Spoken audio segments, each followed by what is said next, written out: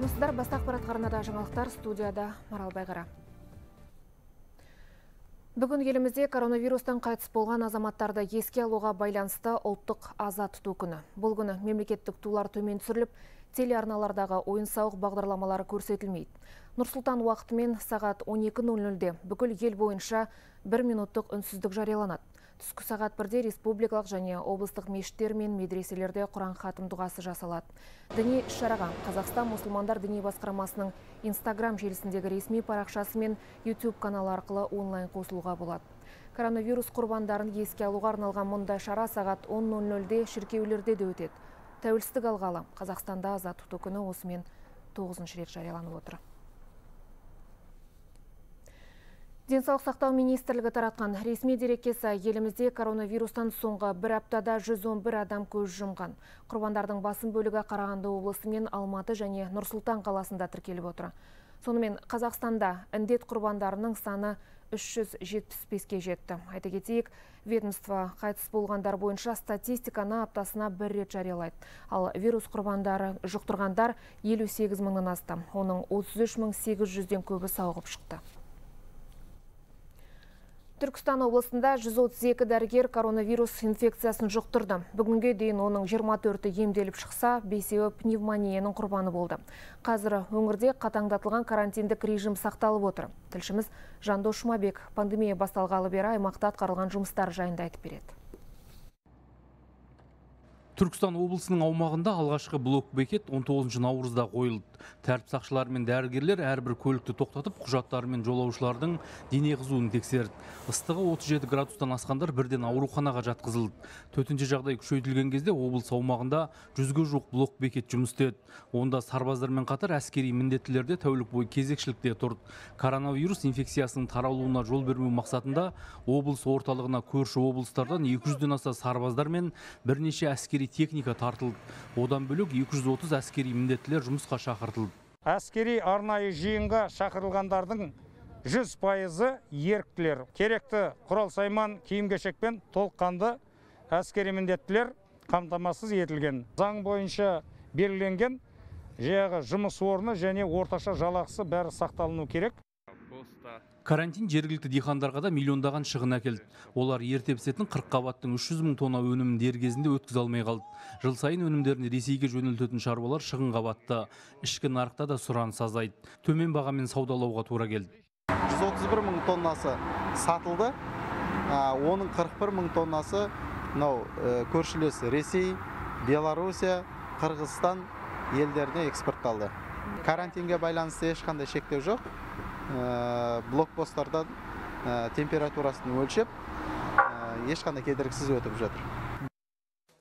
Түркістан облысында коронавирусқа қарсы күресті күшейту мақсатында түркістан әлеуметтік корпоративтік даму қорына 63 миллион теңгеден астам қаржы жиналды. Оған облыс кәсіпкерлері айрықша үлес қосты. Мемлекеттік қызметкерлер де бір күндік жалақысын аударды. Қорға түскен әрбір қаражатқа азық түлік пен гигиеналық және медициналық заттар сатып алынды. Сондай ақ біз біргеміз акциясы аясында 40 мың отбасына азық түлік таратылды.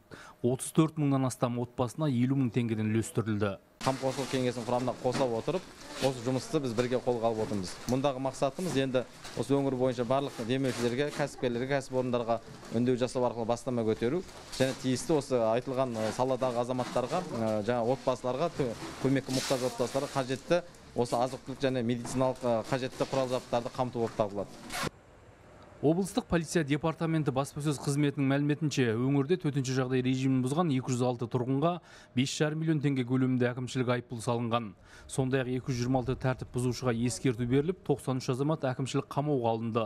Қазіргі таңда әкімшілік сотта 168 азаматтың ісі қаралу үстінде. Соңғы бір айда өңірде пневмониямен ауырған науқастардың саны күрт көбейді. Бес мыңнан астам адам өкпе қабынуымен ем қабылдауда. Қазір олардың тең жартысы сауығып шықты. Алайда 46 науқас тұмаудың құрбаны болды. Бұл өңірдегі коронавирустан көз жұмғандардан төрт есе көп. Ауруханалар мен дәріханалардың алды кезекке толды. Жағдайы ауыр болмаса ауруханаға жатқызбады. Көбісі үйінде емделді. Науқастардың көптігінен жедел жәрдем бригадалары бәрін қамтып үлгере алмады. Скорыйды зордан шақырдық айқайлап жүз рет звондап отырып бір сағат екі сағаттан кейін скорый келіп тұр. Үйге емделуге дейді үйге емделгенде ол кісінің жүрегі қысып жатыр бірден оған төрт бес укол салып жатыр сол кезде оның жүрегі шыдамай жатыр түнде де сондай болды жаңа да сондай болды. Облыс әкімі өмірзақ шөкеевтің айтуынша қазір өңірдегі эпидемиологиялық ахуал тұрақты. Қауіпті індет жұқтырған науқастар үшін инфекциялық стационарларда 440 провизорлық стационарларда 1891 және карантиндік орталықтарда 980 төсек орын дайындалған. Бұдан бөлек 184 өкпені жасанды желдету аппараты бар. Қазір коронавирус инфекциясын жұқтырған науқастарға арналған төсек орынның 41 пайызы бос тұр жалпы облыс бойынша 2079 адам коронавирус инфекциясын жұқтырған. Оның 800-ге жуығы жазылып шықты. 11 науқас көз жұмды. Сондай ақ өңірде 132 дәрігер қауіпті індет жұқтырды. Олардың 24 емделіп шықса бесеуі пневмониядан қайтыс болды. Сонымен қатар бүгінге дейін 17 мыңнан астам медицина қызметкерлеріне 2 миллиард 867 миллион теңге көлемінде үстемақы төленген. Бұдан бөлек аймақта 5421 адам пневмонияға шалдықса бүгінге дейін соның 3 мыңға жуығы құлантаза айығып шықты. 46 адам тұмаудың құрбаны болды. Қазір дәрі тапшылығын жою жұмыстары жалғасуда. Қазіргі жағдай түсіну керек. Мына мемлекеттік стационарларда емханаларда дәрінің дәрінің тапшылығы жоқ болғанда емес. Бізде толыққанды жетеді. Бірақ жаңағы жекеменшік дәріханаларда кейінгі екі жетіде қиыншылықтар болды. Жалпы айтқанда облыстық бюджеттен 500 миллион теңгені бөліп өзбекстан үкіметімен байланысып дәрілерді әкелуге келістік. Бүгін екі фура дәрі келді облысқа. Антибактериальный антикоагулянттар керек дәрілер келіп жатыр қазір. Бұдан бөлек түркістан облысында карантин кезінде 6 мың азамат волонтерлық жұмыстарға жұмылдырылды өңірде жастардың қолғабыс етуімен 100 мыңға жуық тұрғынға көмек көрсетілді 1 миллионнан астам медициналық бетперде тегін таратылды жандос жұмабек самат нағашыбекұлы хабар 24 түркістан облысы Қарағанды емханаларындағы кол орталық мамандары енді әлеуметтік желі арқылы да алғашқы медициналық жәрдем көрсете алады.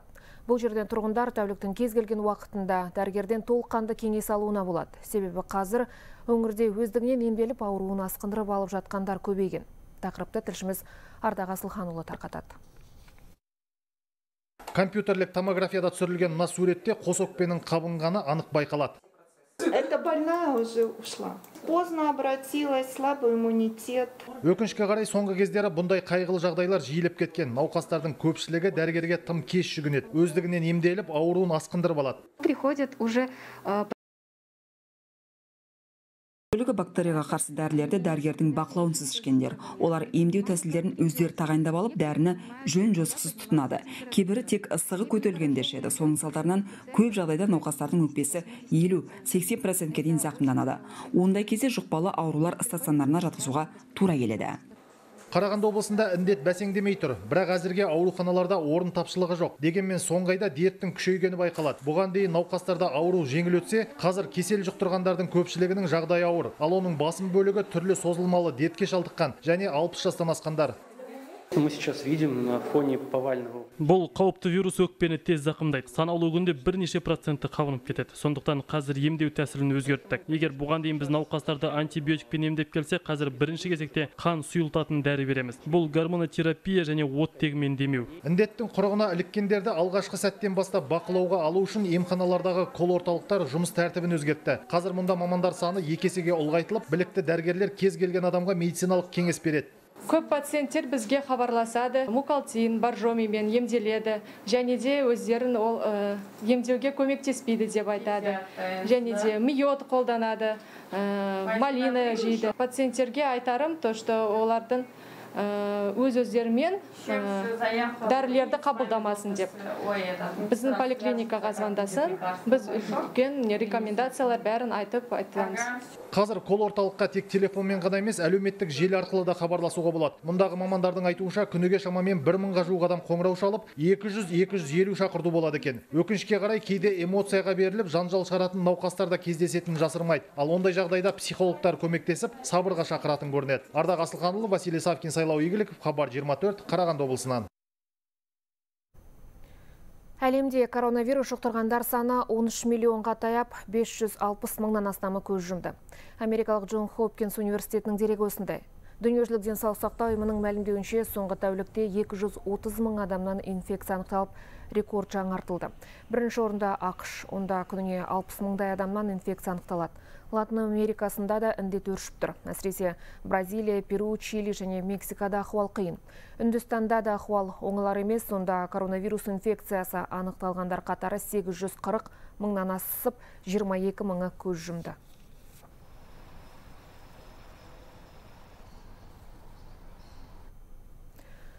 Ақшта 3 миллионнан астам адамнан COVID-19 анықталып, 135 мыңға жуық азамат аталған дерттен көз жұмды. Америка осы індеттен зардап шеккен елдердің көш басында деп айттық. Ел экономикасы да орасан шығынға ұшырады. Көптеген кәсіпорындар жабылып, жұмыссыздар саны артуда. 2020 жылдың қаңтарында Америкада коронавирус жұқтырған алғашқы азамат тіркелді. Ел президенті Дональд Трамп пандемияға байланысты ұлттық карантинді тек екі айдан кейін жариялады. Дендеген дерт аз уақытта ақштың елу штатында қамтыды. Аризона, Техас, Калифорния, Флорида бұл ең ауқымды зардап шеккен өңірлер. Штаттың 2 миллион 400 азаматы коронавирусқа тест тапсырды. Нәтижесінде Флорида штатының әрбір 9 тұрғыннан COVID-19 анықталды. Біз 65 жастан асқан адамдарға қауіпсіздік ережелерін қатаң сақтауға кеңес береміз. Себебі жасы келген адамдарға ауыр тиюі мүмкін. Вирус жұқтырғандар санының өсуіне қарамастан елдегі ойын сауық орындары жұмыстарын қайта жалғастыруда. Аптаның соңында орландодағы диснейленд аттракционы төрт айға жуық үзілістен кейін өз есігін айқара ашады. Келушілер санына шектеу қойылады әрине. Індеттің өршуіне жол бермес үшін адамдар бетперде киіп әлеуметтік қашықтықты сақтаулары тиіс. Бизнес нысандарының қызмет көрсетуге құлшыныс танытуының өзіндік себебі де бар. Әлемдік пандемия ақша экономикасына ауқымды соққы берді. Көптеген кәсіпорындар жабылып жұмыссыздар саны отыз үш жарым миллионға жетті. Бұл мамыр айындағы көрсеткіш. Көп ұзамай ақштағы жұмыссыздық деңгейі 25 процентке жетуі ықтимал.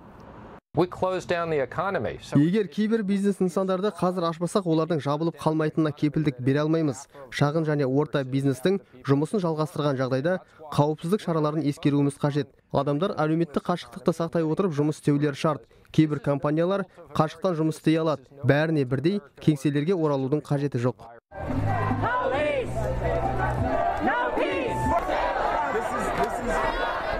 Пандемия кезінде ақшта афроамерикандық Джордж Флойдтың өліміне байланысты наразылық шаралары өткендігі белгілі. Елдің бірнеше штатында мыңдаған адам жиналып, биліктен нәсілдікпен күресіп, полицияның қатыгездігін тоқтату талап етті. Тіпті кейбір акциялар қорғау органдарымен қақтығыстарға ұласып, сақтық шаралары ескерусіз қалды. Салдарынан вирусты жұқтырушылар саны арта түсті. Тек соңғы тәулікте ақшта 71 мыңнан астам адамнан COVID-19 анықталды. Бұл дерт дендегелі бері ең нашар көрсеткіш. Сарапшылардың болашаққа қатысты болжам адамдары да көңіл көншітпейді гүлмайра қуатбайқызы әсел әбдіхалықова хабар 24 Ел жаңалықтарына оралсақ, Алматы облысының волонтерлары биыл 24 мыңнан аса отбасыға көмек көрсеткен. Еріктілер мұқтаж жандарға азық түлік және антисептикалық заттарды таратып қана қоймай, жалғызілікті қарттарға, көпбалалы отбасыларға қолғабыс етіп келеді. Төтенше жағдай кезінде де белсенділер қайырымды ісі арқылы асқан ұйымшылдықтың үлгісін көрсетті. Тіпті әскери жиынға өз еркімен барып, ел қауіпсіздігі үшін қайта сапқа тұрғандар да бар.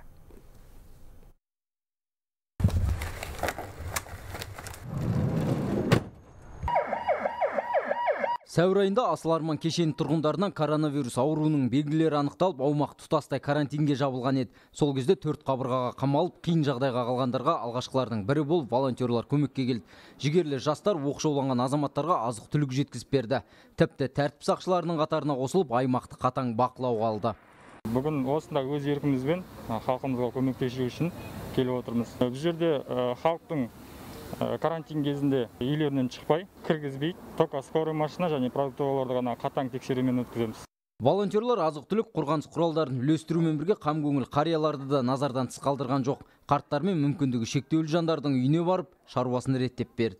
Очень я благодарна. Волонтерларға алғыстан басқа айтарым жоқ. Өз басым еріктілер қозғалысының жұмысына дән ризамын. Біз сияқты бойындағы күш қуаты кемеген қарттарға үнемі көмектесіп тұрады. Еліміз үшін қиын кезеңде еріктілердің қатарына егде жастағылар да қосылды.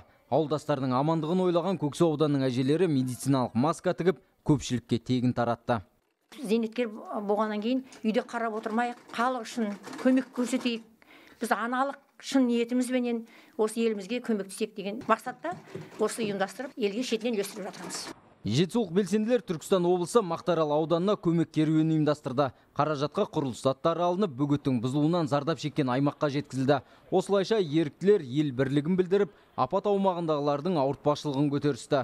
Елбасына күн туған осындай қиын шақта жұмыс істеген волонтерлардың еңбегі мемлекет тарапынан ескерусіз қалған жоқ. Қайырымдыстың қасынан табылатын жігерлі жастар елбасының алғыс хатымен президенттің халық алғысы медалімен марапатталды. Алматы облысы мейірімді жетісу фронт кеңсесінде екі мыңнан астам еріктілер бар белсенді еріктілер барлық облыс деңгейінде жұмыс атқарып жатыр және де осы еріктілердің күшімен және де меценаттарды тарту арқылы он төрт мыңнан астам отбасыға көмек көрсетілген болатын Өңірде 2000 мыңнан аса волонтер бар. Олардың қайырымдылық шарасы төтенше жағдай енгізілгелі бері бір сәтке де тоқтаған емес. Қазірдің өзінде еріктілердің бірі дәрігерлерге ақысыз такси қызметін ұсынса, кәсіпкерлер жағы 60 медицина қызметкерін тегін тамақтандырып отыр. Көпшіліктің көмегіне арқа сүйеген қоғам белсенділері енді науқасты оттегімен қамтамасыз ететін құрылғы сатып алып ауруханаға табыс етпек. Міне, осылайша жетісулықтар жалпыға төнген қауіппен жұрт болып жұмыла күресіп жатыр шыңғыс қалиден қуаныш түргенбаев хабар 24 алматы облысынан денсаулық сақтау министрлігі таратқан ресми дерекке сай елімізде коронавирустан соңғы бір аптада 111 адам көз жұмған. Құрбандардың басым бөлігі қарағанды облысы мен алматы және нұрсұлтан қаласында тіркеліп отыр. Сонымен қазақстанда індет құрбандарының саны 375-ке жетті. Айта кетейік ведомство қайтыс болғандар бойынша статистиканы аптасына бір рет жариялайды. Ал вирус жұқтырғандар 58 мыңнан асты. Оның 33 мың 800-ден көбі сауығып шықты. 2020 жылдың 13 шілдесі жалпы ұлттық аза тұту күні. Елорда уақыты бойынша сағат 12.00-де коронавирус індетінен қайтыс болған азаматтарды еске алу үшін бір минут үнсіздік жарияланады. Әзірге айтарымыз осы, амандықта жүздескенше.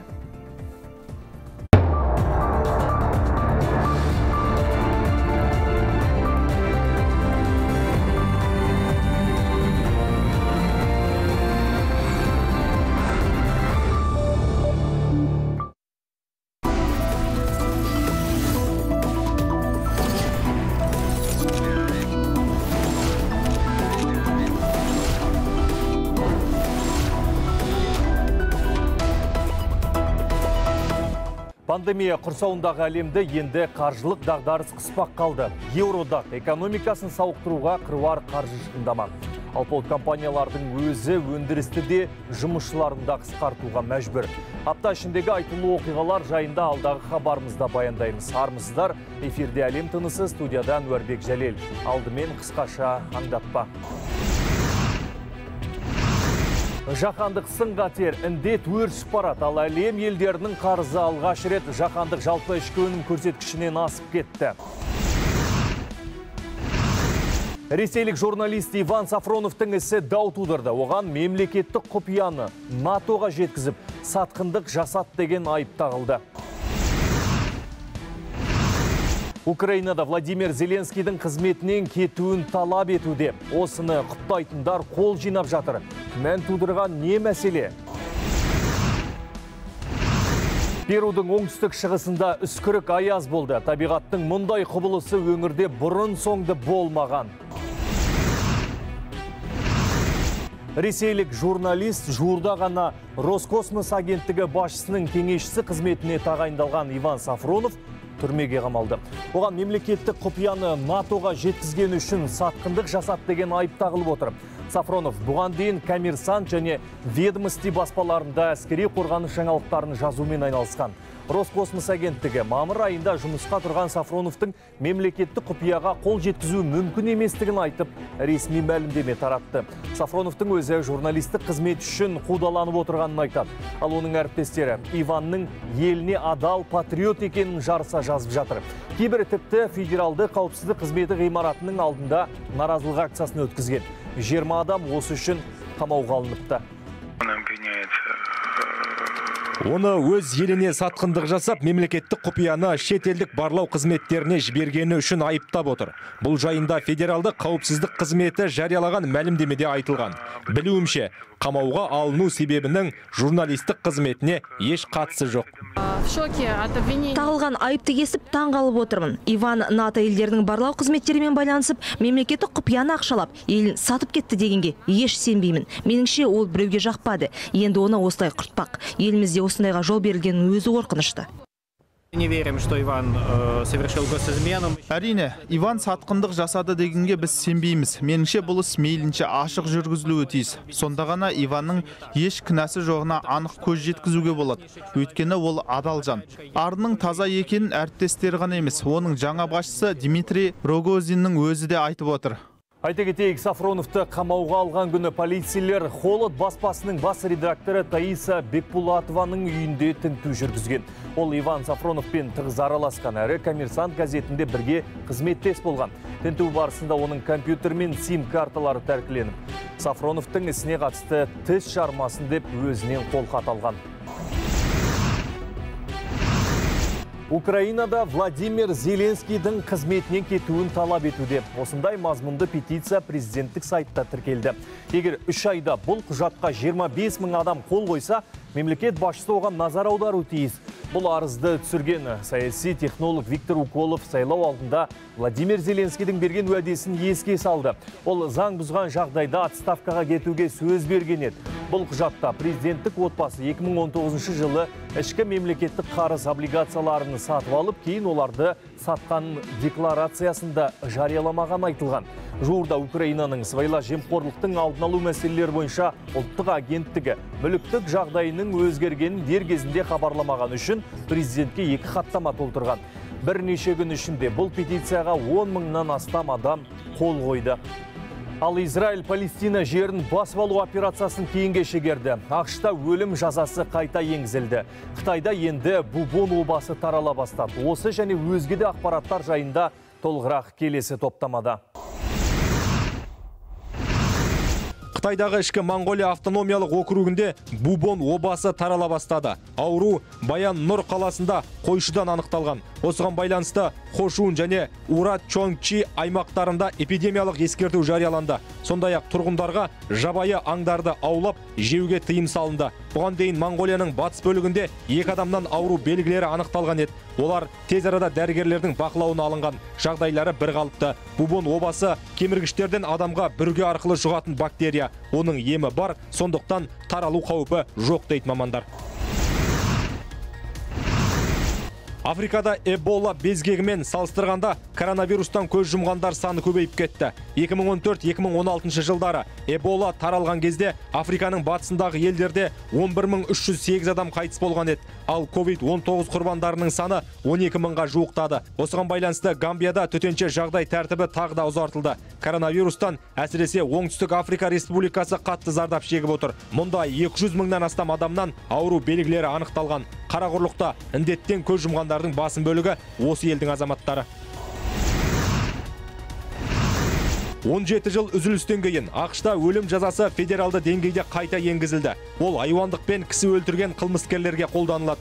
Осы жазда үш тұтқынды өлім жазасына кесу жоспарланған. Олардың жүрек соғысын тоқтату үшін арнайы дәрі 2003 жылдан бері Америка құрама штаттарында өлім жазасына жабық мораторий жарияланған. Ал оның жүзеге асырылуын тексеру әділет министрлігіне жүктелген еді. Алайда өлім жазасы кейбір штаттарда қолданылып келді. ақш билігінің шешімін еуроодақ сынға алды.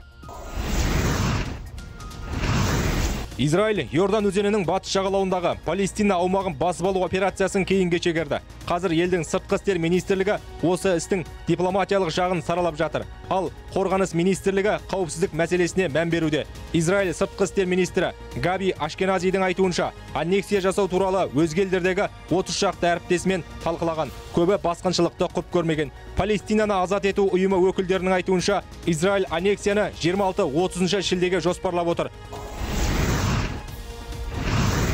Перудің оңтүстік шығысында үскірік аяз. Табиғаттың мұндай құбылысы өңірде бұрын соңды болмаған. Сарышұнақ аяз титикака көлінің жағасындағы пуно аймағында қамтыды. Кей жерлерде ауа температурасы минус 12 градусқа дейін төмендеген. Ыстыққа үйренген тұрғындар суыққа төзе алар емес. Ауа райына байланысты 72 ауданда төтенше жағдай жарияланды.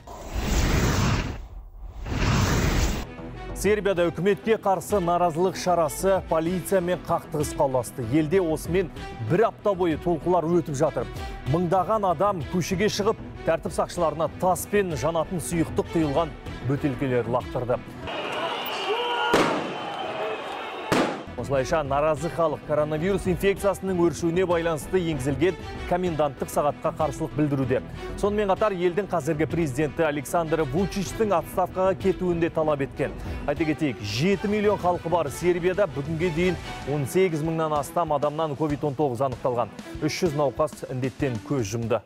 Бізге үкімет пен президенттің отставкаға кетіп бақ бостандығы болған керек. Себебі ковид төңірегінде жалған ақпар таратпай нақты мәліметті алуды қалаймыз. Біздің діттегеніміз дәл осы. Бірақ ол үшін күн сайын көшеге шығу керек сияқты. Еуроодақ экономикасын қалпына келтіру үшін 500 миллиард еуро көлемінде қор құру қажет. Бұл туралы Германия канцлері Ангела Меркель мәлімдеді. Айта кетейік, Германия Федеративтік Республикасы шілденің басынан бері Еуроодақ кеңесіне төрағалық етуде. Бұл құзырет жарты жылға жалғасады. Мемлекеттің бағдарламасы коронавирус және оның салдарымен күреске бағытталған. Бұл ретте экономиканы қалпына келтіру мәселесіне баса назар аударылатын болады. Саясаткер Германия мен Францияның ортақ ұсынысы негізінде әрекет етуге шақырды. Dass Europa geeint und gestärkt aus der Krise kommt. Германияның Еуроодақ кеңесіне төрағалық етуінің басты мақсаты кәрі құрлықты дағдарыстан алып шығу. Сондай-ақ алдағы жарты жылдағы маңызды мәселелердің бірі бұл Ұлыбританиямен арадағы қарым-қатынас. Әлі айтарлықтай ілгерілеу байқалмайды. Осы ретте күзде келісім шартқа қол қойып, оны жыл соңына дейін бекітсек деп отырмыз. Ал 13 шілде, яғни дүйсенбіден бастап өз қызметіне кірісетін Еуротоптың жаңа төрағасы Паскаль Донахиоға еуроаймақты рецессиядан шығару міндеті артылып отыр. Еурокомиссияның есептеуі бойынша аймақ экономикасы биыл 8,7%-ке қысқартылады. Ал коронавирус пандемиясы аяқталса, 2021 жылы өсім 6%-тен артық болады деген болжам бар. Донахью өз сөзінде еуро аймаққа мүше елдер арасындағы қарым-қатынасты реттеп, экономиканы қалыпқа келтіру үшін бар күш жігерін аямайтынын айтты. Өз кезегінде халықаралық валюта қоры жасаған болжамға сәйкес әлем елдерінің қарызы алғаш рет жаһандық жалпы ішкі өнімнен бір жарым процентке асады. Бұл тарихта бұрын соңды болмаған көрсеткіш. Қордың пайымдауынша ақш пен қытайды қоспағанда мемлекеттік қарыз өсімі тек келесі жылы ғана тұрақталады коронавирус пандемиясы ірі компанияларды тығырыққа тіреді. Әсіресе ұшақ құрастыратын алпауыт компаниялардың халі мүшкіл. Мәселен airbus биыл бірінші тоқсанда жарты миллион еуро шығынға батты. Өндіріс 40 процентке төмендеген. 100 пайыз дайын ұшақтардың өзі өтпей тұр. Басшылық дағдарыстан шығудың жалғыз жолы еңбеккерлерді азайту дейді. Алдағы уақытта компанияның 15 мың қызметкері жұмыссыз қалуы мүмкін. Оның 900 испания 1700 ұлыбританиядағы бөлімшелеріндегі мамандар. Жаппай қысқарту франция мен германияда да жүргізіледі. Қос мемлекетте компанияның 10 мың қызметкері жұмыстан босатылады. Концерннің шешіміне көңілі толмаған жұмысшылар наразылықтарын білдірді. Зауыттың германиядағы қызметкерлері үнсіз шеру өткізді. Олар кәсіпорын ғимаратының алдына 2000 бос орындық қойып оларға отбасылық суреттер жабыстырған. Осы арқылы қысқарту жалғыз қызметкердің өзін емес отбасының жағдайын қиындататынын көрсеткісі келген. 6000 Leute abbauen. Airbus 6000 қызметкерін қысқартпақ. Бұл біздің өңірге ғана емес кәсіподақ ішінде, жұмысшылар ішінде ауыр соққы болмақ. Мына орындықтар нәпақасынан айырылып қалатын жұмысшылардың санын көрсетеді. Өйткені коронавирустың дендеуінен біз бұл жерде көп адамды жинай алмаймыз. Алайда бұл компания басшылығы үшін ескерту болмақ. Егер тиісті амал қолға алынбаса, халықтың барлығы осы жерге жиналатын болады.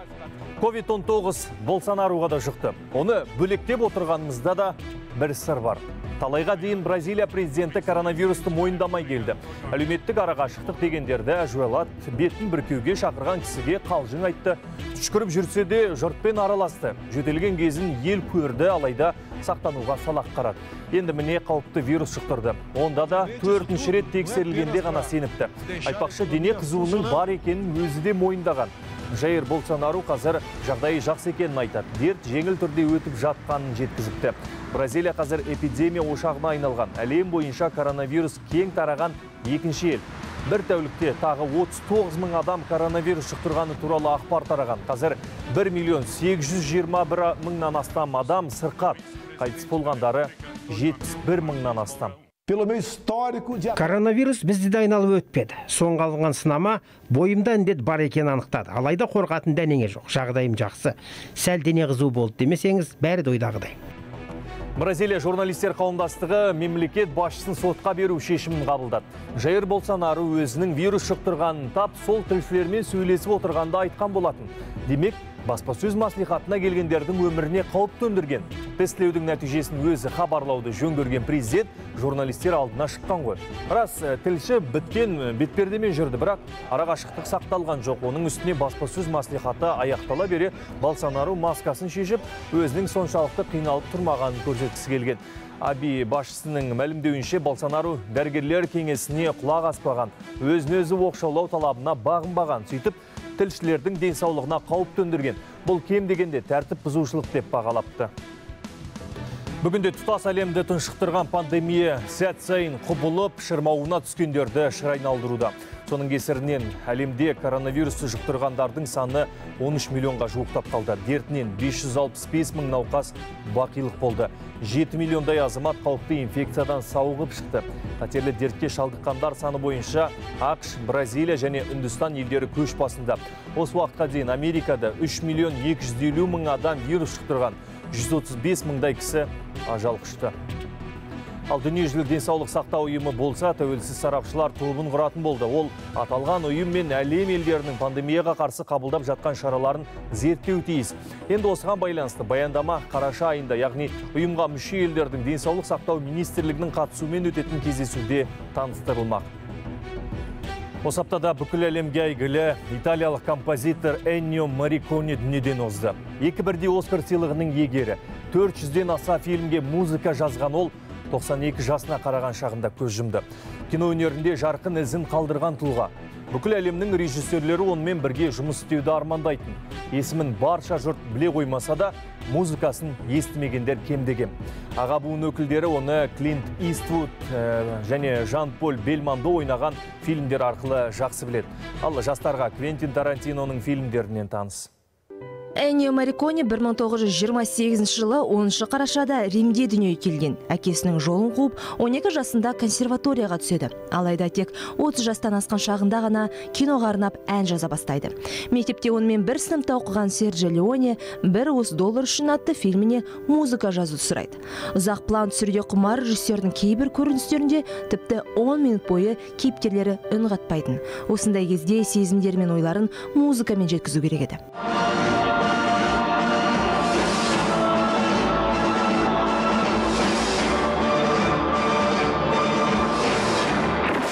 Эннио Марикони өз міндетін ойдағыдай орындады. Шеберлігінің арқасында көрермен көз алмай, осындай көріністерді жалықпай көретін. Бұл кино күл әлемде үлкен табысқа ие болып, жалғасы ретінде тағы екі фильм түсіреді. Долларлық трилогия деп аталған бұл туындылары кинодағы бөлек бір жанр спагетти вестернің негізін қалаған. Ал басты кейіпкерін сомдаған Клинт Иствуд Голливудтың басты жұлдызына айналды. Өз тұмар ретінде санайтын Серджи Леоне үнемі Эннио Марикониден қол үзбейтін. Композитормен бірге жұмыс істеу үшін бернардо бертолуччи пер паоло пазолини роман полански оливер стоун және өзге де әйгілі режиссерлер кезекке тұратын.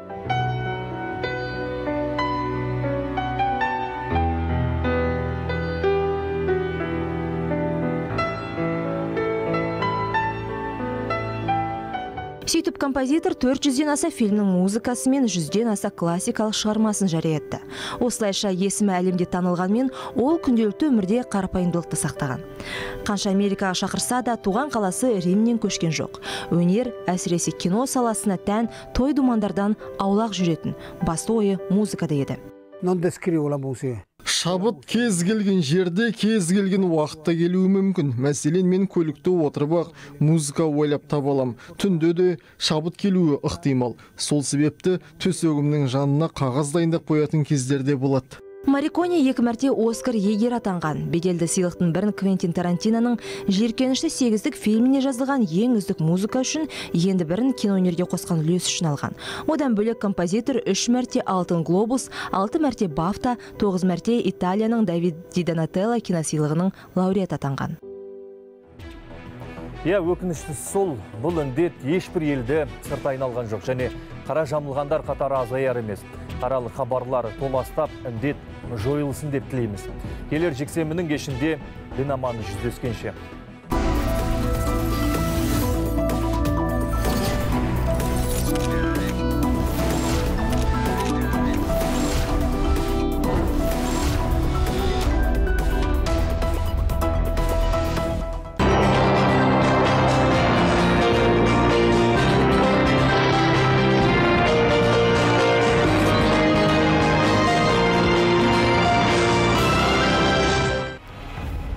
Ковид 19 қазақстанға 13 наурызда келді. Дәл осы күні алматыда екі адамнан коронавирустық инфекция анықталды. Екеуі де германиядан ұшып келген. Уақыт өткен сайын инфекция жұқтырғандар саны көбейе берді. Ал елдің денсаулық сақтау жүйесі алапат қиындыққа тап болды. Әуелгіде шет мемлекеттермен қарым қатынас үзілмеді. Өңірлер арасындағы көлік қозғалысы шектелген жоқ. Қоғамдық орындар ойын сауық кешендері кинотеатр және кәсіпорындар тұрақты жұмыс істеп тұрды. Ал шетелде жағдай ушыға түсті. Аурудың ең әуелгі ошағы қытай оның ішінде ухань қаласында пандемия өршіген. Тап осы вирус қазақстанға іргедегі елден емес алыстағы еуропадан жетті. Мемлекет басшысы қасым жомарт тоқаев уақыт оздырмай елде төтенше жағдай жариялады.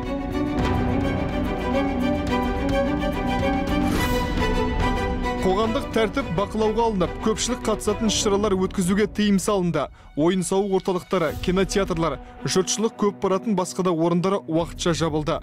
Оқушылар демалысқа жіберілді студенттер қашықтан оқыту жүйесіне көшті. Ал ел аумағына кіруге және шығуға шектеу қойылды. Мемлекеттік шекара бойындағы өткізу бекеттерінде вокзалдар мен әуежайларда санитарлық режим күшейді. Елорда мен алматы карантинге жабылды. Шет мемлекеттермен әуе қатынасы үзілді. Арада қатаң карантин режимінің алғашқы аптасы өтті. Індет ауыз жимады тажал тұмаумен ауырғандар саны 200-ден асты. Өкінішке қарай кеселдің алғашқы құрбандары да бар. Қазір ол жұқпалы ауру болғаннан кейін бір адамға бір адам жұқпау үшін арамызда қарым қатынас болмау керек. сонымен карантин деген ол әр азамат өзінің осы контакттарын жойып төмендету керек. Енді әрине қажетті жағдай болады. Қажетті жағдай болғаннан кейін өз өзін қорғап маска киіп жаңағы жеке гигиена сақтап жүрсе сонда біз бұл ауруды тоқтатамыз. Вирус бәсеңдеген жоқ. Мемлекет басшысы қасым жомарт тоқаев төтенше жағдай кезінде табысынан айырылған отандастарға жәрдемақы беруді тапсырды. Жұмыссыз қалған әрбір тұрғынға 42 мың 500 теңгеден берілсін деді. Қосымша қандай документтер керек? Выписка из приказа дейді. Приказдың көші үзіндісі істейтін адамдардың тізімі оның бәрін дайындап бір күннің ішінде тапсырдық.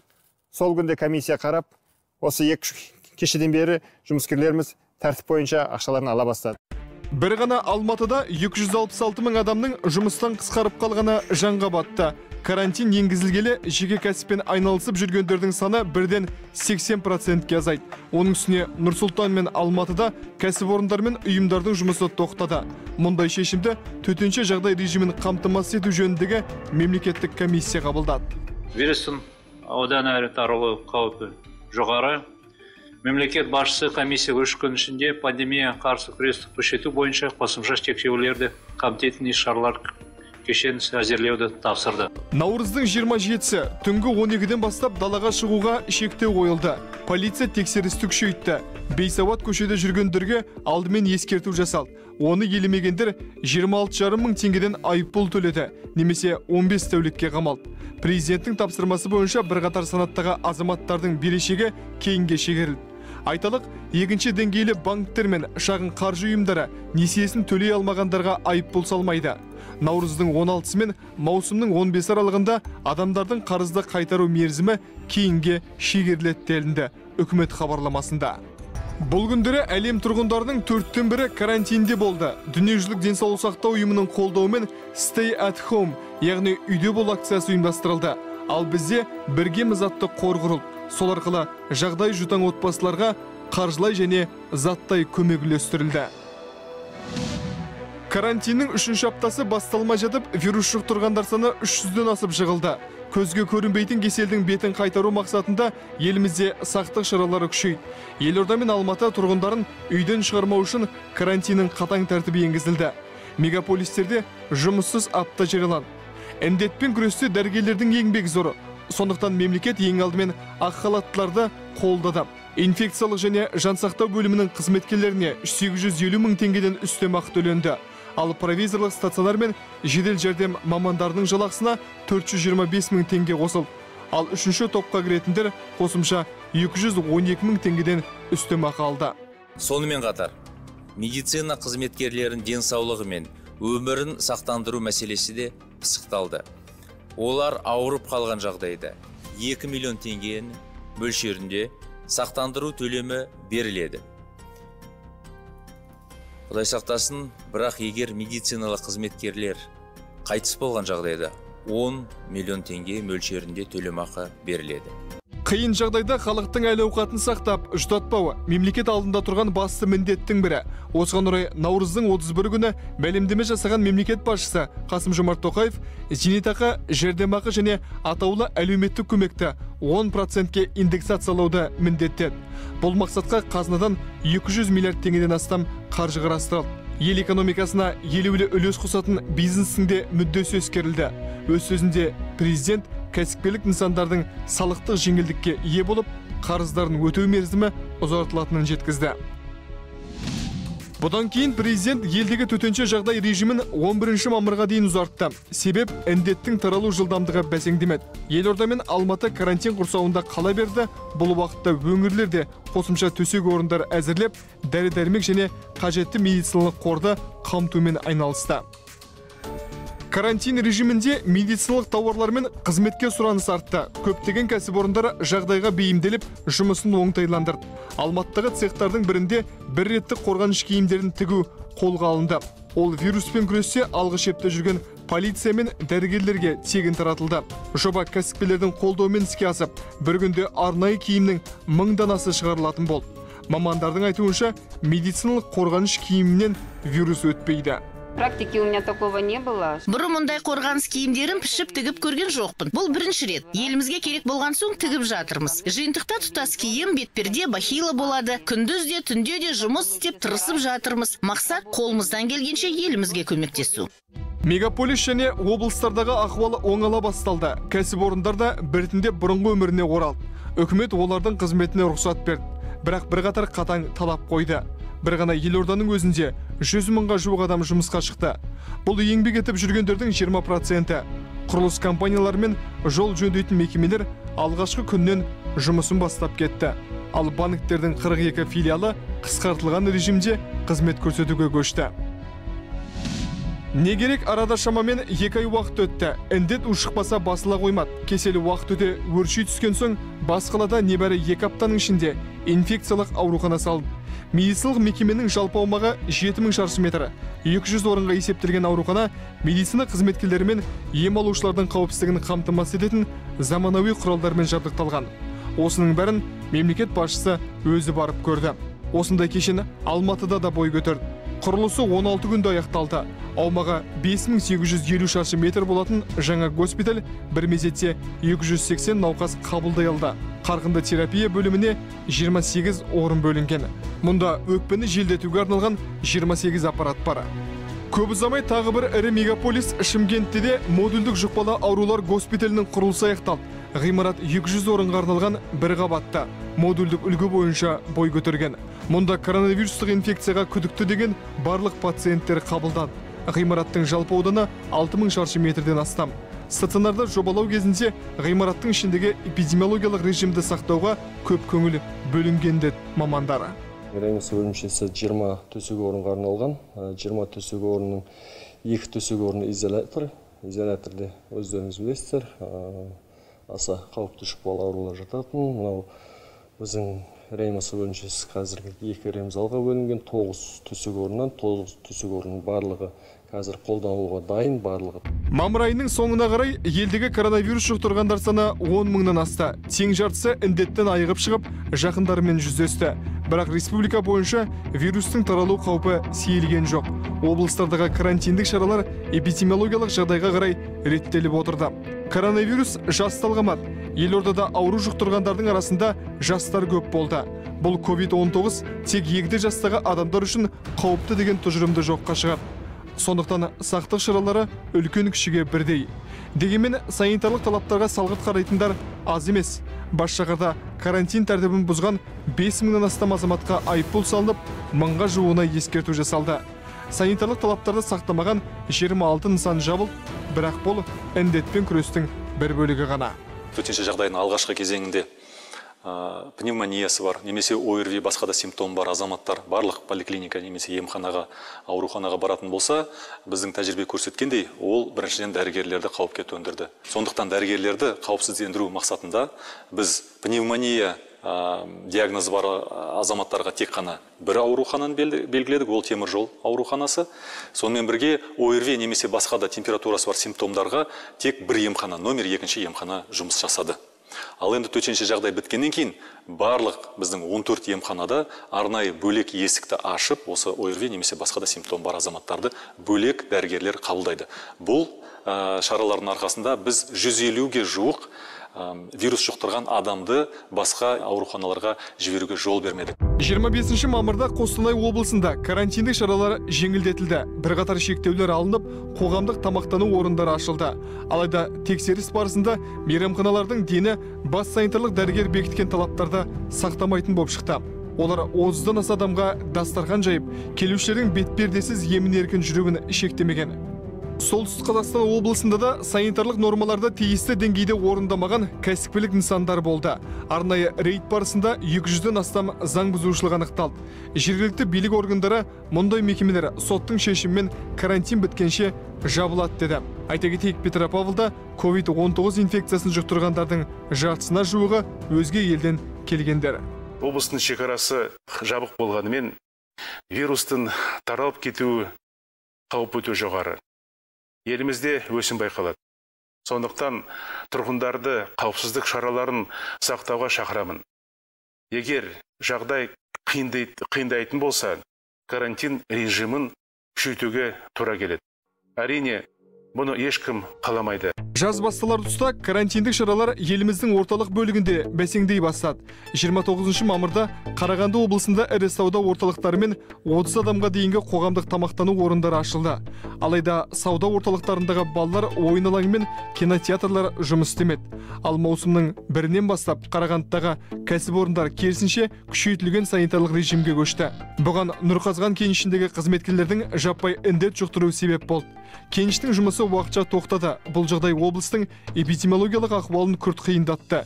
Инфекцияның таралуын тежеу үшін аймақ басшысы қызметкерлерді көшпелі зертханалар арқылы тексеруді тапсырды.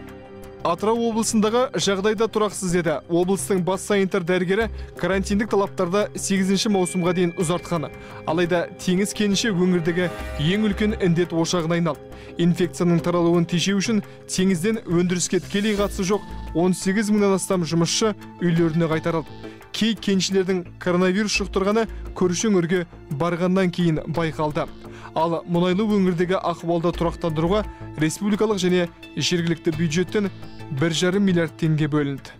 Оказали нам помощь в оплате гостиниц в которых проживает қонақ үйде жатып жұмыс істеген медицина қызметкерлері мен карантинде жатқан азаматтар үшін жатын орнының ақысы төленді. Уақытылы тамақтандыру ұйымдастырылды. Бастапқыда 180 инфекциялық орын жасақталса қазір ол 540 орынға дейін көбейтілді. Сондай ақ 300-ден астам карантиндік орын дайындалды.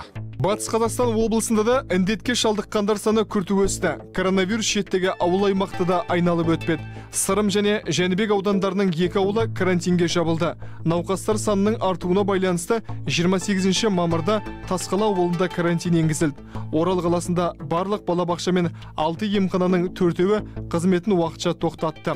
Ауру ошағы қарашығанақ мұнайгаз кен орнында да анықталды. Салдарынан төрт жарым мың адам еңбек ететін кен орнында 24 мамырдан 5 маусымға дейін карантин жарияланды.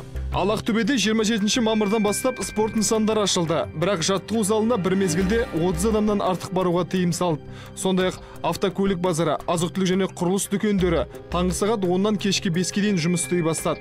Түрлі тамақтану орындары мен мейрамханаларға 22.00-ге дейін қызмет етуге рұқсат берілді. Облыс басшысы санитарлық талаптар сақталмаса қатаң шара қолданатынын ескертті. Өңірде жұқпалы вирусты анықтайтын төрт зертхана жұмыс істеп тұр. Олар күніне екі мыңға жуық сынаманы тексеруге мүмкіндік береді. Көршілес облыстан орналасқан теңгешевройл кенішінен келген 2280 адам толықтай тексеруден өткізіліп нәтижесінде оның сегізінен жұқпалы вирус анықталды. Сондай ақ осы жылғы 12 сәуір мен 23 мамыр аралығында ресей федерациясынан келген 611 студент тексеріліп олардың 18 науқас екендігі анықталды. Ауру жұқтырғандардың ішінде қарапайым тұрғындар да алдыңғы шепте блокпосттарда қызмет жасаған құқық қорғау органының қызметкерлері де болды. Бұл уақытта маңғыстау облысында күніне 4-5 адамнан қауіпті індет анықталатын. Вирус жұқтырғандардың үлес салмағы аудан тұрғындарына тиесіледі сол себепті бейнеу ауданы мен ақтау жаңаөзен қалаларында карантин режимі толық алынған жоқ. Тұрғындарға мәдени спорттық шараларды отбасылық той жиындарды өткізуге қатаң тыйым салынған. Мейрамхана тойхана кинотеатр және балалар аттракциондары жабық тұрды бірақ мешіттер мен шіркеулер ашылып кейбір кәсіпкерлік нысандардың жұмысына рұқсат берілді. Ал бірінші маусымда темір жол қатынасы іске қосылып нұр сұлтан алматы ақтөбе бейнеу бағыттары бойынша жолаушылар пойызы жүре бастады. Таразда қоғамдық көлік пен базарлардың жұмыс істеуіне бастапқы уақытта рұқсат берілген жоқ. Кейін кәсіпкерлердің талабы орындалды. Арнайы мониторинг сауда саттық халық көп жиналатын орындарда санитарлық талап сақталмайтынын көрсеткен. Салдарынан өңірде індетті жұқтыру дерегі күрт өсіп кетті. Карантинді тезірек тоқтатамыз десек онда осы берілген талаптардың барлығын біз сақтауымыз керек. Біз барлығын жақсы түсінеміз. Халықтың енді шаршаған жұмыс істегісі келетінін жалақы алғысы келетінін бала шағасын асыраусы келетінін әсіресе базарлардағы жұмыс істейтін кісілердің олардың несиелерінің барлығын бәрін білеміз. Бірақ қайта айтылатын мәселе біз үшін ең негізі керегі ол адамның денсаулығы өмірі Алматыда болған қайғылы жағдай әлі қоғам назарында. 25 мамыр күні бақылау өткізу бекетінде тұрған екі полиция қызметкері мас жүргізушінің кінәсінен қаза тапты. Күдікті қамауға алынды, ал кейін оның осы сала қызметкер екені анықталды. Блок бекетте көз жұмған екі полицейдің отбасына Алматы қаласы әкімдігі тарапынан көмек көрсетілді. Бұл туралы шаһар басшысы Бақытжан Сағынтаев айтты. Қазір Алматы коронавирус жұқтырғандар саны бойынша көш бастап тұр сондықтан аймақтағы санитарлық талап қатаң қала әкімі бетпердесіз азаматтарды кіргізген бизнес нысандары қайтадан жабылатынын ескертті. Екі айға созылған төтенше жағдай кезінде алматы экономикасы 100 миллиард теңге шығынға батқан әсіресе сауда мен көлік тасымалдау саласы қатты зардап шекті. Біз қалада көлік қатынасы азайып сауданың төмендегенін байқадық. Осыған байланысты қаланың экономикасы 9 бүтін оннан екі процентке құлдырады. Инвестициялар да төмендеді. Өйткені карантин кезінде адамдардың басым көпшілігі жұмыссыз үйде отырды. Автокөліктер мүлде жұмыс істеген жоқ. Сондықтан осының бәрі экономикаға әсер етеді. Алматы облысындағы жағдай әуелгіде тұрақты болатын. Науқастардың 90 проценті алдын ала тексеріс нәтижесінде анықталған. Ал қазір онда вирус жұқтырғандар саны 3 мыңнан асады. Түркістан мен Шығыс Қазақстан облыстарындағы ахуал да алаңдатарлық. Аймақтарда карантин талаптарының орындалуы қатаң бақылануда. Түркістан облысының әкімі Өмірзақ Шүкеев отбасы мүшелерінің амандығы үшін әр тұрғынды санитарлық талаптарды ұстануға шақырып отыр. Ал ережені елемегендерге айыппұл салынатынын жеткізді. Шығыс қазақстанда қала мен аудан аралығындағы блок бекеттер жұмысы маусымның 13-үне дейін жалғасты. Көліктер тек арнайы қызыл немесе көк түсті рұқсат қағазымен өткізілді.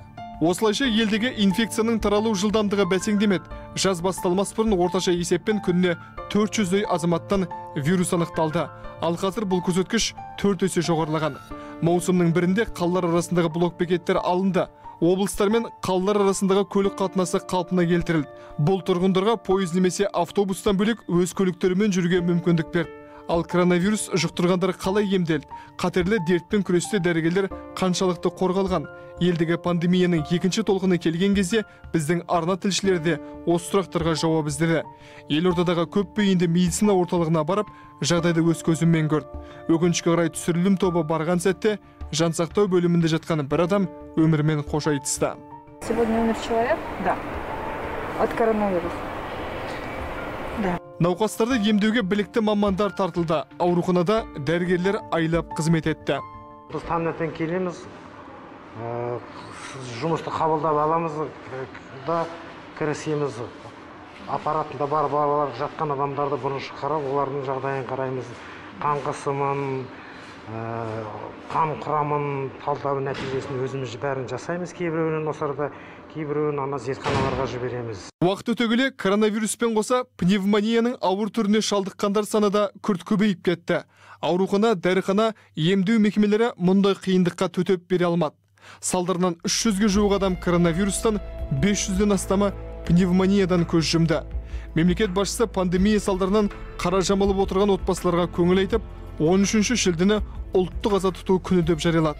Әр қазақ менің жалғызым дегендей әр азаматымыздың қазасы менің жүрегіме қатты батады. Алапат індет арамыздан талай асылдарды жұлып әкетті. Сондықтан ұлттық аза тұту күнін жариялап індетпен күресті жалғастыра береміз деді президент. Бастысы үрейге бой алдырып түрлі қауесеттерге сене бермеуге шақырды. Мемлекет басшысы денсаулық сақтау жүйесінің пандемияға дайын болмағанын сондай ақ әкімдер өз жұмысына салғырт қарағанын атап өтті. Індетпен күрестің нәтижелі болуы ең алдымен барша жұрттың саналы әрекеті мен жауапкершілігіне байланысты. Бұл өте қауіпті батпандап кіретін мысқалдап шығатын дерт. Коронавирустың таралуына байланысты денсаулық сақтау жүйесіне көп ауыртпалық түсуде. Ашығын айту керек денсаулық сақтау жүйесі індетке тойтарыс беруге дайын болған жоқ. Осы мәселе бойынша біз тергеу жүргіземіз және бұл жағдайдан сабақ аламыз. Әкімдердің жіберген қателіктеріне тиісті баға береміз. Дегенмен мемлекет тарапынан барлық қажетті шаралар қабылданды. Қабылданған шаралар мен медицина қызметкерлерінің ерлігінің арқасында емделіп шығып жатқан азаматтардың саны едәуір көбейді. Көптеген елдердегі жағдай бізден де қиын. Дегенмен әр қазақ менің жалғызым дегендей әр азаматымыздың қазасы менің жүрегіме қатты батады мынау алапат індет арамыздан талай асылдарымызды жұлып әкетуде. Бүгінде қара жамылып отырған азаматтардың қайғыларына ортақтасып көңіл айтамын. Сол үшін 13 шілдені ұлттық аза тұту күні деп жариялаймын. Бірақ біздің күресіміз жалғаса береді. Бұл індетті адамзат жуық арада жеңе қоймас. Алайда уайым мен қайғыға батып түрлі қауесеттерге сеніп еңсемізді түсіруге тағы да болмайды. Салмақты сабырлы болайық. Біздің жұмысымыз айқын. Қоғам алдында еш нәрсені жасырмай ашық айтамыз. Болашақта да солай болады. Артынша президент үкіметтің кеңейтілген отырысын өткізді. Елдің алғашқы жартыжылдықтағы әлеуметтік экономикалық дамуы мен эпидемиологиялық ахуал сараланған жиында жауаптылар жұмысына қатты сын айтылды. Ел экономикасының бірде сегіз процентке төмендеуімен қоса пандемиямен күрес нәтижесі көңіл көншітпеді президент айтты осындай күрделі кезеңде мемлекет халық алдындағы барлық әлеуметтік міндеттемесін орындауы тиіс. Жасырып жабатыны жоқ. Елдегі жағдай күрделі ахуал екі аптада реттелуі қажет. Қалыптасқан ахуал екі аптадан кейін жақсарады деп үміттенемін. Олай болмаған жағдайда жалпы үкіметтің осы құрамда жұмыс істеуі мүмкіндігі туралы мәселе туындайды. Пандемия бүйірдің қысқанда дәрінің тапшылығын сезіндік. Қашанға дейін импорттық препараттарға тәуелді боламыз. Президент те осыны айтты. Тіпті намысымыз қайда деп үкіметті қайрай сөйледі. Үкіметтің және әкімдердің қабылданған шараларды түсіндіруінде олқылықтар бар. Олардың қоғам пікірімен тиісті деңгейде жұмыс істей алмай отырғаны байқалды. Қорыта айтқанда пандемиямен күрес өзгеше қарқын алды. Осы күні өңірлердегі ахуал оның ішінде дәрі тапшылығы мен төсек орын жетіспеушілігіне қатысты мәселелер шешімін тапты. Мұндайға енді жол берілмейді. Тажал тұмау арамыздан қаншама арысымыз да кетті. Ал ұлт болып аза тұту сол асылдарынан айырылған отбасыларға қайғырып көңіл айтумен қатар ел рухын көтеріп жігерін жанудың белгісі.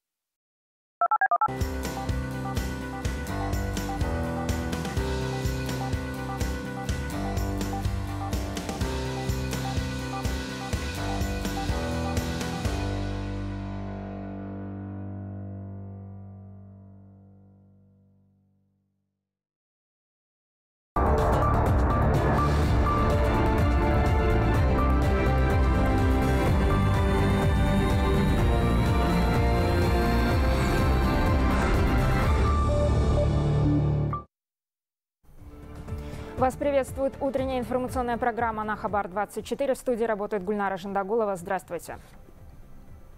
Сегодня вся страна скорбит по казахстанцам, которые стали жертвами пандемии коронавируса. 13 июля по решению президента – День общенационального траура. Ровно в полночь по всей республике, а также на зданиях дипломатических представительств приспустили государственные флаги. В, тра в траурный день отменяются развлекательные мероприятия. В эфире республиканских телеканалов не будут показывать юмористические передачи. Сегодня в мечетях прочитают поминальные молитвы, в церквях пройдут богослужения и панихиды. К слову, с момента независимости национальный траур в Казахстане объявляли 9 раз.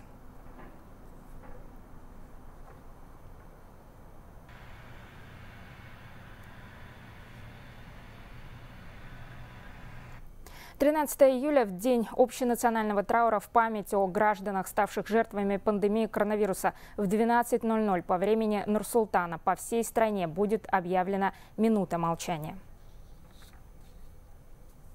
Минздрав Казахстана обновил данные по скончавшимся от нового коронавируса. С 7 по 12 июля в стране зарегистрированы 111 летальных случаев. Из них только в Карагандинской области ковид стал причиной смерти 37 человек, 20 мужчин и 17 женщин. В Алматы инфекция унесла жизни 24 пациентов. Среди них 32-летняя девушка. В столице умерли 18 человек. Таким образом, число случаев с летальным исходом в республике достигло достигла 375. Отмечу, статистику умерших от COVID Минздрав обновляет раз в неделю. В Туркестанской области коронавирусной инфекцией заразились 132 медработника. 24 из них выздоровели, 5 раскончались от пневмонии. Накануне Хаким области Мирзак Шукеев заверил, что семьям умерших медиков выплатят компенсацию. Между тем в регионе усилили контроль за соблюдением карантинных мер. Рауль Габитов продолжит. 19 марта. На въездах в Туркестанскую область появились первые блокпосты. Полицейские и медики останавливают каждый автомобиль и измеряют температуру пассажиров. Тех, у кого она выше 37 градусов, дальше не пускают. По мере распространения вируса и ужесточения ограничительных мер, количество блокпостов растет. В разгар чрезвычайного положения их число достигло 99. Практически у каждого дежурили солдаты. В их числе военнообязанные участники спецсборов. По всей области на призыв откликнулись сотни человек. Из них отобрали 230 самых лучших. Все они обеспечены необходимым снаряжением и готовы приступить к службе. Отмечу, что если до призыва человек работал, то его средняя зарплата будет сохранена. На фоне пандемии миллионные убытки понесли местные фермеры. Весной в регионе вырастили почти 300 тысяч тонн капусты, но продать ее было некуда. Каждый год основную часть белокочаной прямо с полей забирали предприниматели из России. Однако в связи с карантином спрос сократился, а экспортировать продукцию самостоятельно оказалось невыгодно. Вскоре фермеры все же начали продавать капусту, но уже по цене ниже себестоимости. 90 тонн капусты реализовано на внутреннем рынке, 41 тонна экспортирована в Россию, Беларусь и Кыргызстан. Никаких ограничений в связи с карантином для фермеров нет. Они беспрепятственно могут пересекать блокпосты. Для поддержки предпринимателей мы запросили полтора миллиарда тенге из резерва правительства. На эти деньги планируется выдавать беспроцентные кредиты фермерам, занимающимся выращиванием капусты. За последний месяц в регионе растет число заболевших пневмонией. Воспаление легких получили больше 5000 человек. В итоге 46 летальных случаев, что в 4 раза больше, чем от коронавируса. В местных больницах начали образовываться длинные очереди. У моего 67-летнего родственника двухсторонняя пневмония. Мы привезли его в одну из городских клиник, но его выгнали. Сказали, нет мест. Порекомендовали лечиться в домашних условиях, но принимать большое количество лекарств на дому он не может из-за больного сердца. Теперь мы привезли родственника в инфекционную больницу. Сейчас врач его осматривает. Что будет дальше, мы не знаем. По словам главы региона Умерзака Шукиева, сейчас ситуация стабилизируется. Проблем с нехваткой мест в больницах уже нет. В инфекционных стационарах, карантинных и провизорных центрах развернули более трех тысяч коек. Достаточно и аппаратов искусственной вентиляции легких. Решается и вопрос с дефицитом лекарств қазіргі жағдай түсіну керек мына мемлекеттік стационарларда В больницах дефицита лекарств нет. Проблемы были только в частных аптеках, так как жители буквально за несколько дней раскупили двухмесячный запас препаратов. Из областного бюджета выделено 500 миллионов тенге. У нас есть договоренность с Узбекистаном о покупке у них медикаментов. Уже сегодня поступила первая партия антибактериальных препаратов. Кроме того, планируется закупить антибиотики и в Турции. Свой вклад в борьбу с коронавирусом вносят и волонтеры. Среди них таксисты Келесского района. Из-за пандемии врачи часто вынуждены работать сверхурочно и выезжать к пациентам на дом. Но автомобилей в поликлиниках не хватает, а обойти всех пешком не успевают. Поэтому одна из местных служб такси предложила свои услуги. Парк выделил медикам 20 машин, которые ежедневно развозят их бесплатно. Благодаря такой помощи удалось разгрузить службу скорой помощи и избежать больших очередей в поликлиниках. Рауль Габитов, Самат Нагашпекулу, Хабар 24, Туркестанская область. Скорбят по погибшим от коронавируса казахстанцам и за рубежом. Ровно в полночь приспущенные государственные флаги во всех дипломатических представительствах Казахстана. Одними из первых эту церемонию провели в посольстве нашей страны в Сеуле. Там сейчас находится наш корреспондент Владислав Цой. Владислав, вы в прямом эфире. Вам слово. Здравствуйте, Гульнара. Сегодня в Сеуле тоже траур. Жители города прощаются с мэром южнокорейской столицы Пак Вон Суном. Напомню, что его нашли мертвым на горе Пугак. В своей предсмертной записке он попросил прощения у родных и близких. О том, что сегодня в нашей стране общий национальный траур, можно узнать при посещении посольства Казахстана. Ровно полночь здесь был приспущен государственный флаг. И беде не остались равнодушными проживающие в Республике Корея казахстанцы. Это представители казахской диаспоры, студенты и трудовые мигранты. Они организовали сбор средств для помощи нуждающимся. Одна из тех, кто решил помочь соотечественникам, известный блогер Диана Сагиева. Она проживает в городе Кванджу, где работает немало наших соотечественников. Мы, как частные лица, не можем отправлять в Казахстан какие-то препараты и так далее. И в Казахстане все эти препараты, во-первых, должны пройти сертификацию. Они все без перевода на казахский язык, соответственно. И еще одна проблема. Их нельзя взять на баланс какой-то больницы. То есть мы практически оказались беспомощны. Мы имеем возможности что-то отправить в Казахстан, но не можем этого сделать по бюрократическим причинам. В итоге, в итоге мы решили собрать средства и открытие дневного стационара. С нами уже связались волонтеры. На данный момент собран 1 миллион корейских вон. Мы очень надеемся, что эти средства помогут нашей стране. А, Владислав, скажите, а какова ситуация с распространением коронавируса в Корее? Гульнара, пока остановить пандемию не удается. В день здесь фиксируют по 40-50 новых случаев инфицирования. Всего COVID-19 обнаружили у 13,5 тысяч человек, но больше 90% из них выздоровели. Отмечу и низкую смертность пациентов с коронавирусом. Она составляет около 2%. Республика Корея была близка к победе над инфекцией, но в мае, когда в день было всего несколько новых случаев, здесь ослабили карантин. Заработали музеи и развлекательные заведения. И один из посетителей ночных клубов в районе Итывон спровоцировал новую вспышку COVID-19. На данный момент основным регионом распространения коронавируса является Сеул и столичная провинция Кёнгидо. Причем основными очагами инфекции стали религиозные организации, на них приходится половина новых случаев. Другая половина – это пассажиры, прибывшие из-за рубежа. К сожалению, больше всего завозных случаев среди граждан Казахстана. Поэтому южнокорейские власти приняли решение ужесточить правила въезда в страну для граждан Казахстана, Кыргызстана, Пакистана и Бангладеш. Они должны предоставить справку с отрицательным результатом тестирования на коронавирус. Причем этот документ нужно получать в лабораториях, определенных посольствами Республики Корея в этих странах.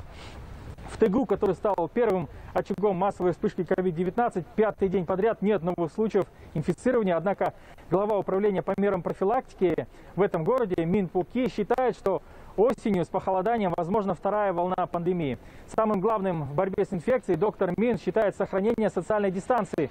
Даже сейчас в жару люди продолжают носить маски.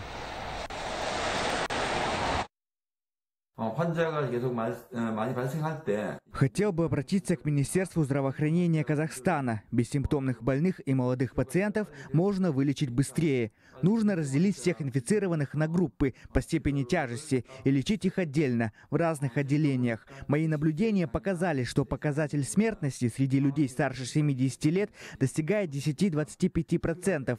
Поэтому очень важно обратить пристальное внимание на лечение пожилых людей и пациентов с хроническими заболеваниями. Медицинский персонал, все ресурсы и средства должны быть направлены на лечение тяжелобольных и пациентов в критическом состоянии. Добавлю, что медики Казахстана и Кореи провели несколько онлайн-консультаций по лечению пациентов с коронавирусом.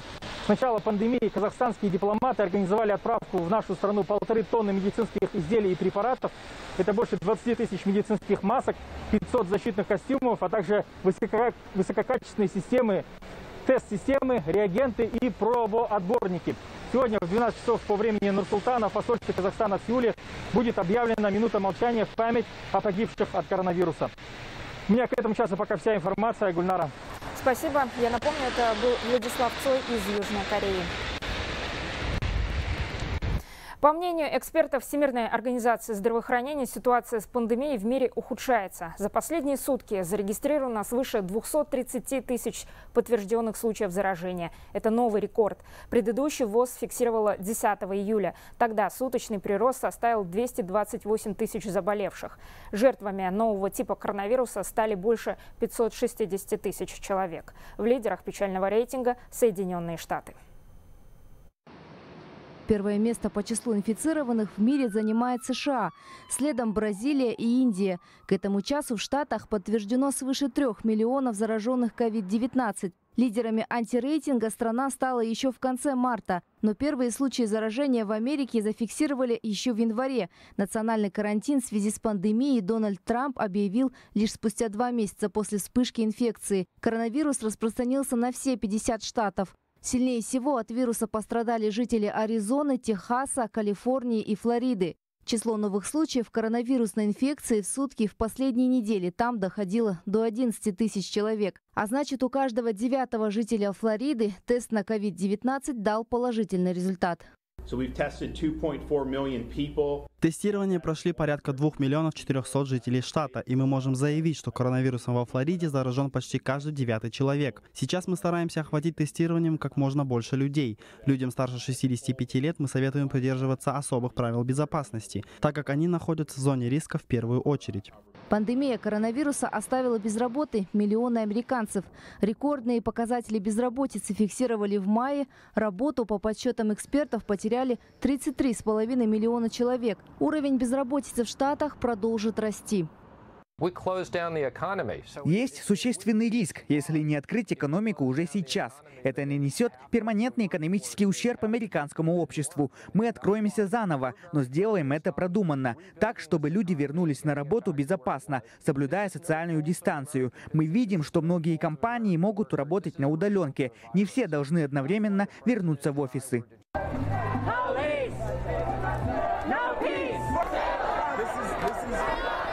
В самый разгар пандемии в США начались массовые протесты, вызванные убийством афроамериканца Джорджа Флойда. Мужчина погиб после применения полицейским удушающего приема. Демонстрации, часто перерастающие в ожесточенные столкновения с правоохранителями, только ухудшили сложную ситуацию с COVID-19. Акции за справедливость, вспыхнувшие в Миннесоте, за короткий срок распространились по всей Америке. Люди нарушали строгие ограничения, чем, возможно, впоследствии и спровоцировали дополнительное распространение распространения коронавируса. Прогнозы экспертов на будущее неутешительны. Во Всемирной организации здравоохранения предупредили, пик пандемии еще впереди. Асель Абдыкалыкова, Хабар 24. Власти Каталонии из-за новой вспышки коронавируса решили ввести двухнедельный карантин. Пока что ограничения коснулись лишь некоторых регионов, в частности провинции Льеда. Жителям предписано не покидать свои дома без крайней необходимости, за исключением похода в магазины и аптеку. Строгие ограничения коснулись около 150 тысяч человек. Также власти ввели обязательный масочный режим. Теперь средства защиты нужно надевать даже на улице, иначе нарушителей ждет крупный штраф. В европейских странах пандемия коронавируса началась в марте и вызвала беспрецедентный кризис в Евросоюзе. Почти половина всех жертв ковида в мире пришлась на страны Европы. Экономические проблемы из-за потерь вследствие жесткого трехмесячного карантина требуют неординарного подхода в решении. Как в ЕС планируют восстанавливать экономику и готовы ли в старом свете ко второй волне пандемии в материале нашего субкора Жанат Эрнст. Пандемия коронавируса погрузила европейскую экономику в самый глубокий кризис в период после Второй мировой войны. По данным Евростата, экономика ЕС снизилась на 3,6% только за первые три месяца этого года. До конца 2020-го эта цифра может достичь 13%, и Европа может не досчитаться 2 триллионов евро. Именно столько Старый Свет должен потратить и на борьбу с ковидом и посткризисом. По данным Европейского Центробанка, в странах еврозоны падение внутреннего валового продукта может достичь таких же показателей. Как известно, на эти государства приходится 12 из 14 триллионов евро общего ВВП Европы в год. Экономика еврозоны переживает беспрецедентный спад. Произошло резкое снижение экономической активности в результате пандемии коронавируса и мер по ее сдерживанию. Серьезные потери рабочих мест и доходов и исключительно высокая неопределенность в отношении экономических перспектив привели к значительному снижению потребительских расходов и инвестиций. Государственные расходы пострадавших от пандемии стран ЕС растут, а восполнять их налогами из-за пережитых карантинных мер пока не получается. И власти сильных европейских государств предлагают стимулировать экономику из бюджета, увеличивая пособия, выплачивая зарплаты частному сектору, льготы и субсидии бизнесу. Внутренний валовый продукт Франции упал на 5,8%, Испания и Италия примерно на 5%, а экономику Германии, которая председательствует в ЕС в ближайшие полгода, также ожидает сильный спад. В ближайшие месяцы нам предстоит решить сложную задачу – попытаться сдержать пандемию и справиться с последствиями кризиса. Это последствия для здоровья людей, социальные и экономические. И для этого нам необходимо заключить соглашение по финансовым инструментам, чтобы иметь надежную основу для многолетнего финансового бюджета и фонда экономического восстановления. По предложению Еврокомиссии весь объем средств в Фонде восстановления экономики под названием ЕС нового поколения соберут за счет коммерческих займов, которые странам Евросоюза предстоит выплачивать до 2058 года. С созданием такого фонда все согласны, но вопросы его распределения и финансирования вызывают серьезные споры как среди самих стран ЕС, так и в его руководстве. Председатель Евросовета Шарль Мишель выдвинул ряд предложений, связанных с этими финансовыми планами. Для долгосрочного бюджетного плана я предлагаю сформировать сумму в 1 триллион 74 миллиарда евро, чтобы выполнить долгосрочные цели ЕС и плана восстановления. Я предлагаю сохранить баланс между кредитами, гарантиями и грантами, чтобы избежать чрезмерной нагрузки на страны Европейского Союза с более высоким уровнем долга. 17 июля э, главы государств и правительств 27 стран ЕС соберутся в Брюсселе на свой первый посткарантинный саммит, который пройдет в живом формате и будет посвящен э, бюджету Евросоюза на предстоящие 7 лет, а также формированию фонда экономического восстановления объемом 750 миллиардов евро. И от его решений будет зависеть ближайшее будущее Европы. Жанна Терна, Жумар Ахметов, Хабар 24, Бельгия, Брюссель. Казахстане начала восстанавливаться деловая активность. Об этом можно судить по индексу бизнес-климата. Его определяет Национальный банк в ходе опроса предприятий. О том, насколько изменились их экономические показатели, какие у них ожидания и настроения. Всего на вопросы ответили около 450 предприятий. В результате индекс бизнес-климата в июне был на отметке минус 2,7 пункта, а в мае минус 13. Это значит, что компания находится все еще в отрицательной зоне, однако наблюдается наблюдается заметное улучшение. А, да, Гульнара, если выделить по отраслям, то промышленность уже вышла в положительную плоскость. Индекс бизнес-климата повысился и в сфере услуг, но все еще ниже до кризисного уровня. В минусе еще остается строительство. Пока же расскажу, который из регионов лидирует в производстве белого мяса.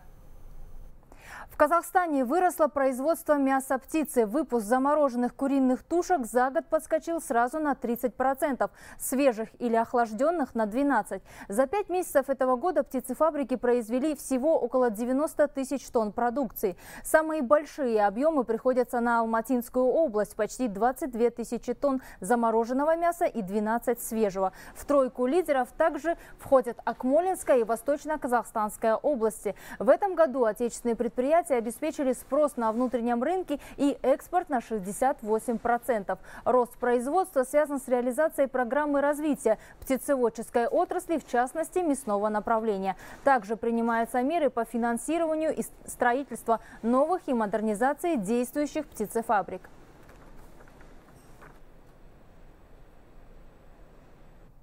За год окорочка подорожали на 8%, передает energyprom.kz. Их стоимость достигла почти 840 тенге за килограмм. Дороже всего мясо птицы обходится жителям столицы почти 1000 тенге, а дешевле всего актюбинцам 700 тенге. Отмечу, что в Казахстане работают 24 птицефабрики. Ежедневно они выпускают более 800 тонн продукции.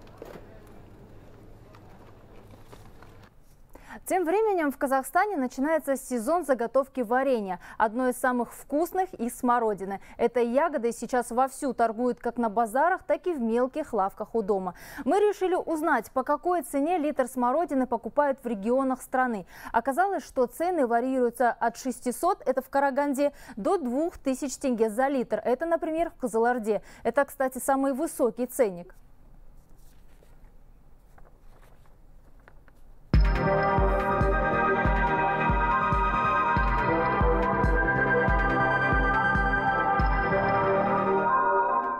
На втором месте по стоимости Усть-Каменогорск. Там литр смородины продают за 1400 тенге. В Актау чуть дешевле – 1100. Жители Костаная литр покупают за 1000 тенге. А вот в Павлодаре полезная и вкусная ягода стоит 800 тенге. Такой же ценник в столице.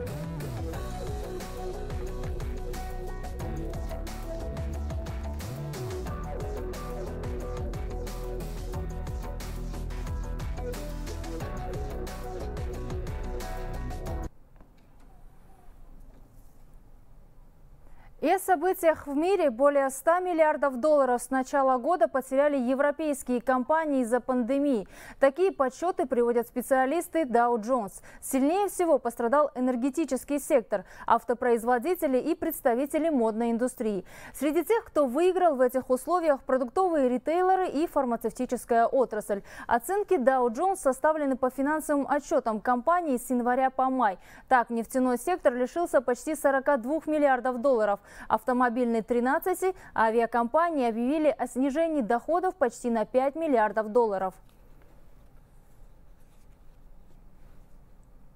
Цены на нефть могут превысить отметку в 150 долларов за баррель, так считают аналитики, опрошенные The Wall Street Journal. Директор по инвестициям хедж-фонда No One Trace Capital Тревор Вудс считает, что к 2025 году, несмотря на давление на производителей нефти, стоимость топлива достаточно легко может достигнуть такой отметки. В долгосрочной перспективе, как отмечает большинство экспертов, цены на нефть должны установиться на уровне, позволяющем энергетическому сектору сектору получать выгоду, производя достаточное количество черного золота. Директор по инвестициям лондонского фонда Matilda Capital Management Ричард Фуллертон ожидает, что стоимость черного золота превысит 100 долларов уже во второй половине этого года. При этом, как отмечает Wall Street Journal, в этом году инвестиции в нефтегазовые активы сократятся на 32%, почти до 329 миллиардов долларов. Для восстановления до уровня, способного закрыть потребности в топливе до 2030 года, потребуется 625 миллиардов долларов дополнительных инвестиций.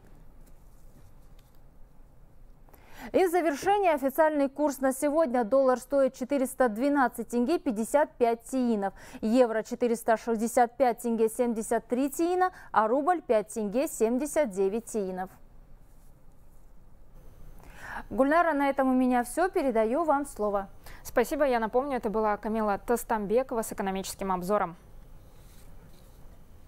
19-летняя девушка стала жертвой урагана в Карагандинской области. На надувном матрасе она плавала по Топарскому водохранилищу. Это в 50 километрах от областного центра.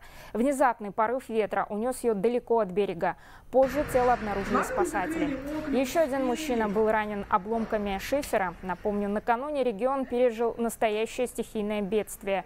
В результате шквального ветра скоростью до 21 метра в секунду без кровли остались 16 зданий повалены десятки деревьев. Обломками повреждены автомобили. Некоторые районы города и семь поселков остались без электричества.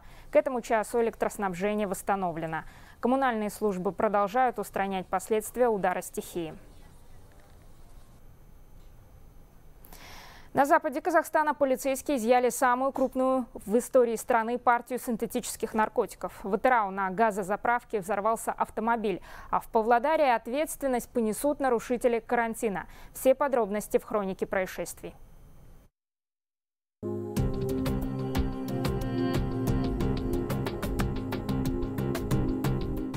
В Западном Казахстане полицейские вместе с органами национальной безопасности ликвидировали нарколабораторию, оснащенную по последнему слову техники, и изъяли крупнейшую в истории республики партию синтетических наркотиков. Сразу 120 тысяч доз. Под подпольный цех был приспособлен гараж и надворные постройки во дворе специально приобретенного дома в Теректинском районе. Организаторы рассчитывали почти на промышленные объемы выпуска и оборудовали лабораторию всем необходимым, вплоть до вентиляции. В ходе обыска в помещениях обнаружены смеси порошки, концентраты химических веществ, канистры с реагентами, защитные костюмы, респираторы. Кроме того, на месте изъято около 11,5 килограммов синтетического наркотика мифедрона и 8 килограммов пировалерона. Задержанные признали, что начали производство в конце июня. Всего сумма изъятых наркотиков составила 413 миллионов тенге. Начато досудебное расследование. Наказание предусматривает лишение свободы на срок от 10 до 15 лет с конфискацией имущества. В Атрауской области взорвалась машина. Происшествие случилось прямо на газозаправке на трассе Атрау-Дассор. Автомобиль УАЗ сначала загорелся, во время пожара произошел взрыв. Жертв и пострадавших нет, ведется следствие. В Усть-Каменогорске на улице Баллистической загорелись хозпостройки во дворе частного дома. Огонь уже подбирался к чужой территории и мог перекинуться на соседнее жилье. Но пожарные сумели с ним справиться и ликвидировали возгорание площадью 60 квадратных метров. Причина возникновения пламени устанавливается. Предварительная версия – неосторожное обращение с огнем. В Павлодарской области нарушение режима карантина выявили мониторинговые группы. Антилидеры, магазины, торговые дома и рынки – 49 фактов. Кафе и рестораны – еще 20 фактов. СТО и АЗС – 16 фактов. К примеру, праздник устроили в ресторане по улице Сураганова. Там отмечали день рождения, несмотря на запрет массовых мероприятий. К тому же в заведении курили кальян, на что на администратора тут же наложили штраф. Проигнорировали карантинные меры и в кафе по улице Жусупова и ресторане по улице Естая. Также принимали клиентов клиента в одном из банных комплексов города и в спа-салоне Посадпаева. Все материалы переданы в Управление контроля качества и безопасности товаров и услуг для привлечения владельцев к административной ответственности. Полицейские Восточного Казахстана выявили ряд аптек с завышенными ценами на лекарства. Так, в ходе очередного рейда в городах Усть-Каменогорска и Семей установлено 6 аптек, которые отпускали препараты без рецепта врача, причем дороже реальной стоимости в несколько раз. В ходе контрольной закупки удалось узнать, что фармацевт продавала препарат трамадол по завышенной цене. Наряду с этим крупную часть лекарств она держала у себя дома в подсобном помещении. При осмотре места жительства у 44-летней женщины изъяты порядка 2500 пластинок трамадола и 190 90 флаконов препарата тропикамид. Теперь ее ждет административное наказание.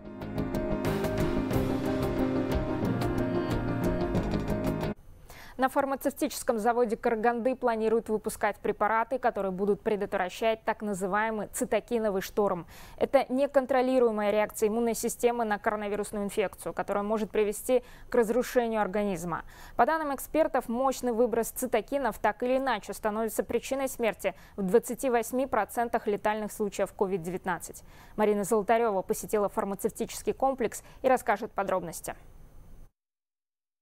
На Каргандинском фармзаводе готовятся к выпуску нового лекарства для больных с тяжелой формой коронавируса. Оригинальный препарат призван подавлять чрезмерную реакцию иммунитета на инфекцию, которая приводит к симптомам сепсиса и поражает органы человека. В России он уже показывает свою эффективность, и мы планируем его также локализовать на, на нашем производстве. Трансфер технологий и вывод на рынок препарата – это долгая такой продолжительный период. Министерство здравоохранения, понимая эту ситуацию, оказывает всяческую поддержку отечественным производителям. Поэтому мы, мы надеемся сократить этот срок. 300 тысяч упаковок в месяц выпускают на фармзаводе сегодня. Это социально значимые лекарства от онкологии, сахарного диабета, рассеянного склероза и артрита. Все препараты проходят тройной контроль. На предприятии созданы био- и физико-химическая, а также микробиологическая лаборатории, оснащенные современным оборудованием. Производство наших препаратов нацелено на рынок Казахстана. Препарат мы производим, поставляем э, в СК «Фармация», и затем оно пациенту предоставляется бесплатно. Берем самые современные, которые актуальные молекулы, э, поставляют нам э, партнеры из Российской Федерации. Затем здесь уже происходит непосредственно формирование лекарственной формы, смешивание, выращивание. Ранее эти медикаменты в Казахстане не производились и закупались за рубежом. При этом стоимость иностранных лекарств на 10-30% выше отечественных. Благодаря местным производителям только за два года Министерство здравоохранения сэкономило более миллиарда тенге, увеличив тем самым доступность населения к дорогостоящим и жизненно необходимым лекарствам. Марина Золотарева, Сайлав Игликов, Караганда, Хабар 24. В Павлодаре педагоги двух колледжей при поддержке профсоюзов области решили поддержать медиков и организовали для них горячее питание. Еду готовят по домашним рецептам, чтобы разбавить рацион, порадовать и доставить удовольствие врачам, медсестрам и санитарам, рассказывает Салават Тимирбулатула. Девочки, зелень готова? Готова. С идеей готовить домашнюю еду для медиков вышла известная скрипачка, преподаватель музыкального колледжа Яна Касьян. Коллеги сразу поддержали инициативу. Пианино, рояль, скрипки – все это пока оставили в сторону. На скрипке у меня сейчас отпуск. А чем сидеть дома, лучше сделать доброе дело, покормить наших врачей, поддержать, создать им хоть чуть-чуть домашний уют. Кухня открывается в 8 утра. Здесь и скрипачи, и преподаватель истории, и звукорежиссер. В работу включился даже директор колледжа. Он вместе со всеми режет салаты, раскладывает блюда и помогает в доставке горячих обедов в госпиталь. Меню обновляют ежедневно, используют полезные овощи и фрукты. К этому процессу, к этой идее подключились профсоюзные комитеты нашей Павлодарской области различных сфер. И сегодня уже мы имеем как бы ряд таких э, больших волонтеров, э, которые готовы прийти на помощь. Кто-то с транспортом, кто-то с доставкой, э, кто-то там с продуктами. Одними из первых благородный почин музыкантов поддержал коллектив другого колледжа сервиса и питания, где как раз обучают будущих поваров и кулинаров. Здесь для медиков готовят уже не обеды, а ужины. На вечер сегодня курица с рисом на гарнир, салат, а на десерт домашний пирог. Сегодня каждый из нас знает и чувствует близкие, родственники, знакомые говорят о том, что они болеют, поэтому мы решили не оставаться в стороне. Горячие обеды и ужины доставляют в триаж-центр, иными словами, сортировочный госпиталь. Он открылся на днях в здании крупнейшего спортивного комплекса региона. Здесь трудятся больше ста врачей, медбратьев и сестер, нянечек и санитаров из числа добровольцев. Одним из первых волонтеры записали спортсмены. В нашем э, центре Байентау развернуто на данный момент 250 коек. Э, на утро было 200, 180 э, пациентов. За дежурные сутки поступило 95 пациентов.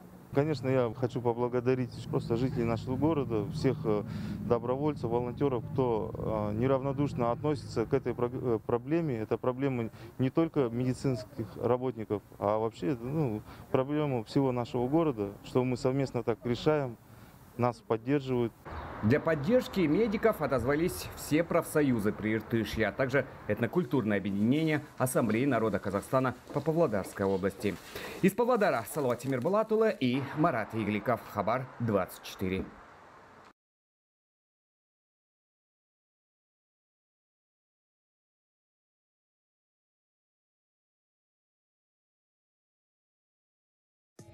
Главные факторы риска при заболевании COVID-19 перечисляет немецкий журнал «Шпигель». Ученые проанализировали анонимные медицинские данные 17 миллионов взрослых в Великобритании. 10 926 человек из них умерли из-за коронавируса. Результаты были опубликованы в научном журнале Nature. По мнению команды исследователей под руководством Лиама Смита из Лондонской школы гигиены и тропической медицины и Бена Голдакра из Оксфордского университета, риск смерти от коронавируса увеличивают различные факторы. Наиболее важные из них – мужской пол, пожилой возраст, бедность либо низкий социальный статус, различные предшествующие заболевания, в том числе диабет, тяжелая форма астмы и аутоиммунные заболевания, сильно выраженный лишний вес, индекс массы тела выше 35, отмечает издание. При этом исследование не выявило причины, лежащие в основе этих взаимосвязей. Получается, здоровье людей по-прежнему сильно зависит от социальных факторов, таких как бедность, этническая принадлежность и несправедливость, пишет Шпигель. Недостаточно лишь идентифицировать идентифицировать риски и больше ничего не предпринимать. Мы должны вместе работать над улучшением доступа к услугам социального характера и здравоохранения, над устранением неравенства, расширением страхования на случай болезни и трудовой недееспособности и борьбу с безработицей, заключают авторы издания.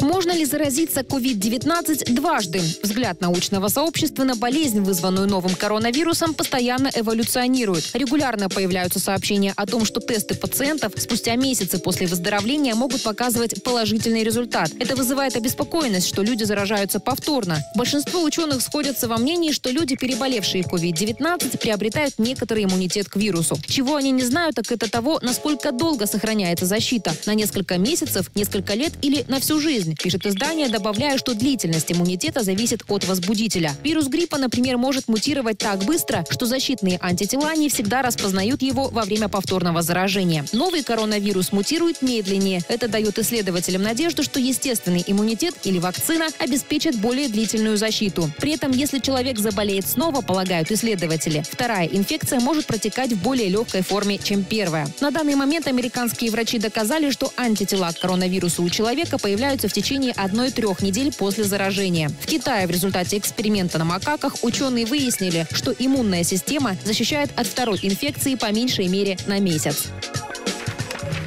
Накануне саммита, посвященного бюджету ЕС на ближайшие семь лет и плану выхода из коронакризиса, председатель Евросовета Шарль Мишель озвучил ряд предложений. По словам политика, который приводит Евроньюз, необходимо укрепить Союз и сделать его более сплоченным в период беспрецедентной глобальной неопределенности. Наша цель – не жечь деньги. Наша цель – инвестиции и реформы. Наша цель – преобразовать европейский проект с учетом проблемы климата, цифровых вызовов, а также сделать наш Европейский Союз более устойчивым. Я хочу, чтобы Европа была лучше лучше и крепче. Это наш долг перед всеми европейскими гражданами повсюду в Европе, сказал председатель саммита. Лидеры ЕС надеются к середине июля договориться о том, откуда взять на эти два плана 1 триллион 800 миллиардов евро. Бережливые Нидерланды, Австрия, Швеция и Дания утверждают, что они и так платят в общую казну слишком много.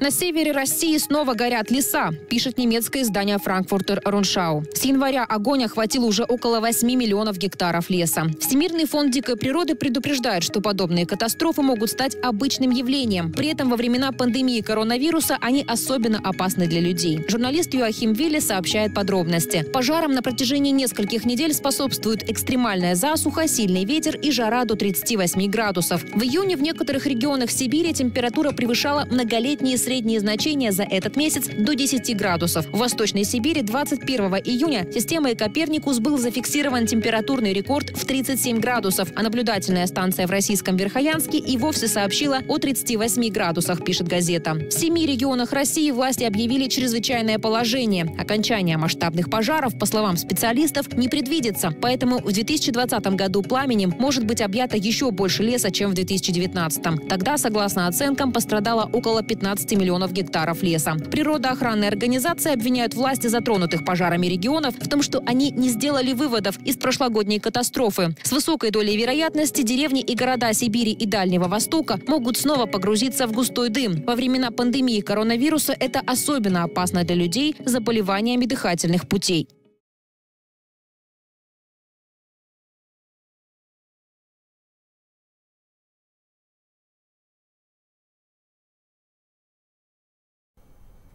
Это новости на Хабар-24. Мы продолжаем. Сегодня вся страна скорбит по казахстанцам, которые стали жертвами пандемии коронавируса.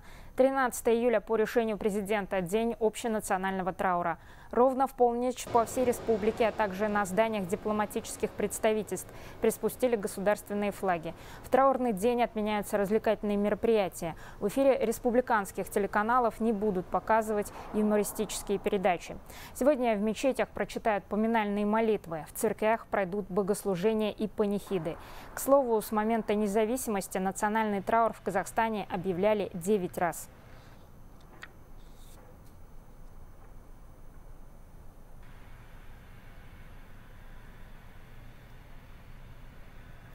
13 июля, в день общенационального траура в память о гражданах, ставшими жертвами пандемии коронавируса в 12.00 по времени Нур-Султана, по всей стране будет объявлена минута молчания. Нурсултан Назарбаев выразил свои соболезнования родным и близким казахстанцев, погибших от коронавируса. Это коварное заболевание забирает жизни наших людей. Это большая невосполнимая потеря для всех нас. В эти тяжелые дни скорблю вместе с вами, приводит слова первого президента Казахстана официальный сайт Ельбаса.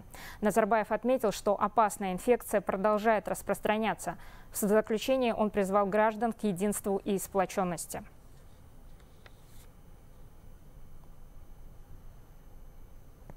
Минздрав Казахстана обновил данные по скончавшимся от нового коронавируса. С 7 по 12 июля в стране зарегистрированы 111 летальных случаев. Из них только в Карагандинской области ковид стал причиной смерти 37 человек, 20 мужчин и 17 женщин. В Алматы инфекция унесла жизни 24 пациентов. Среди них 32-летняя девушка. В столице умерли 18 человек. Таким образом, число случаев с летальным исходом в республике достигло 375. Отмечу статистику погибших от COVID Минздрав обновляет раз в неделю. Карагандинские поликлиники изменили работу колл-центров. Теперь связаться со специалистами можно с помощью популярных мессенджеров. Врачи надеются, что благодаря этому получится охватить большее число нуждающихся в консультации жителей. Ведь многие пациенты занимаются самолечением и только вредят своему здоровью. На снимке томографа легкие уже почти не видны. Вирусная пневмония. Эта больная уже ушла поздно обратилась, слабый иммунитет. Такую картину, признаются врачи, они наблюдают все чаще. Здесь, в красной зоне больницы, принимают лишь тех, кто с симптомами ОРВИ. И большинство приходит уже после попыток вылечиться самостоятельно. Приходят уже э, пропившие бесконтрольно антибактериальные препараты. Они не соблюдали режим дозирования, они принимали как придется. Некоторые принимают их, когда поднимается температура. Степень поражения легких таких пациентов достигает 50-80%. Это очень тяжелый случай. их приходится сразу же госпитализировать в стационары инфекционные. Пока спада заболеваемости нет, но дефицита мест в больницах тоже. За последний месяц изменился портрет больного, говорят врачи. Если раньше заболевание проходило в легкой форме, то теперь много тяжелых пациентов. Большинство из них с хроническими болезнями и в возрасте 60+. Мы сейчас видим на фоне повального увлечения антибиотиков вот такие вот достаточно резистентные пневмонии, в том числе и грибковой. Поэтому, конечно же, сейчас вообще э, немножко изменился уже подход с течением времени к лечению этих э, ковидных пневмоний. Если раньше мы также, в принципе, как и пациенты, лечили в основном антибиотиками, то сейчас на первое место мы ставим именно антикоагулянты, гормонотерапия и кислородная поддержка. А для того, чтобы больные с первой минуты недомогания находились под присмотром специалистов, в поликлиниках меняют принцип работы колл-центров. Штаты увеличили вдвое, теперь здесь работает медицинский персонал, способный провести первую консультацию. Люди звонят по многим, да. Они говорят то, что они сами принимают мукалтин с боржоми и не помогают. Многие там звонят то, что сода, сода, спиртом дышит. Что только они, они говорят. Помимо стационарных телефонных номеров, в поликлинике появились мобильные контакты, связь через мессенджеры и странички в соцсетях. В день около тысячи звонков поступает в колл-центр, а вызовов, соответственно, около 200-250. То есть э, колл-центр работает у нас с 8 утра и до 8 вечера, не переставая принимать вызова. При этом нередко пациенты звонят в состоянии эмоционального срыва. Раздражительность, нервозность, панические состояния почти у всех. Разговариваем, объясняем, что не нужно да, что скоро все это закончится, просто нужно быть терпимыми и следить за здоровьем, соблюдать меры карантина, ну и вовремя обращаться в поликлинику. Илон Чаус, Василий Савкин, Светлана Игликов, Хабар 24, Караганда. Актюбинская область сегодня переживает пик заболеваемости COVID-19 и пневмонии. В стационарах находится свыше 2000 человек. 700 лечатся на дому. По сравнению с прошлым месяцем ситуация стабилизировалась. Количество подхвативших вирус жителей не увеличивается. Наблюдается небольшой спад. Подробнее о эпид-обстановке в регионе расскажет Айсулу Махмутова. Июнь 2020-го актюбинцы будут помнить еще очень долго. Количество жителей, подхвативших пневмонию, стремительно росло. Наспех развернутые пульмонологические стационары в сутки принимали до 100 больных. Коварная инфекция унесла жизни пятерых медицинских работников. К сожалению, у нас э, скончалась одна медсестра и четыре медицинских работника разного уровня. Это и управленческий персонал от пневмонии, но там вопрос выплаты компенсации будет решаться, понятно, после вынесения заключения комиссии. Десятки врачей были инфицированы. В больницы направили преподавателей и резидентов медуниверситета, а также выпускников профильного колледжа. Сейчас решается вопрос с привлечением в регион российских специалистов. Ведутся переговоры с Минздравом. 100 врачей, по нашим данным, заболели. Три и подтвержденные. 77 медработников дополнительно заболели пневмонией. Не хватало жизненно важных лекарственных препаратов. Наиболее бережливые запаслись ими впрок, другие искали медикаменты часами, но тщетно. Третьи пытались нажиться на ажиотаже и занялись спекуляцией. Проблему дефицита решили путем переговоров с российскими коллегами. Провизорные и инфекционные стационары обеспечены лекарственными препаратами, которые выделяются государством. Кроме того, на выходных из Оренбургской области мы получили партию медикаментов по 10 позициям. Это месячный запас. Далее очередь за аптеками. Для пополнения запасов фармацевтов выделено 500 миллионов тенге. Тем временем по заболеваемости пневмонии в регионе наблюдается небольшой спад. В сутки вместо 100 медучреждения накануне приняли до 70 больных. В случае соблюдения жителями ограничительных мер медики надеются на улучшение эпидобстановки. Айсулу Махмутова, Булат Мулдагалиев, Актубе, Хабар 24. 24 тысячи семей Алматинской области получили поддержку в рамках акции «Бергемос». Благотворительную помощь им оказали местные предприниматели и волонтеры региона. Коробки с продовольственными товарами и средствами санитарной защиты ежедневно развозят по всей области.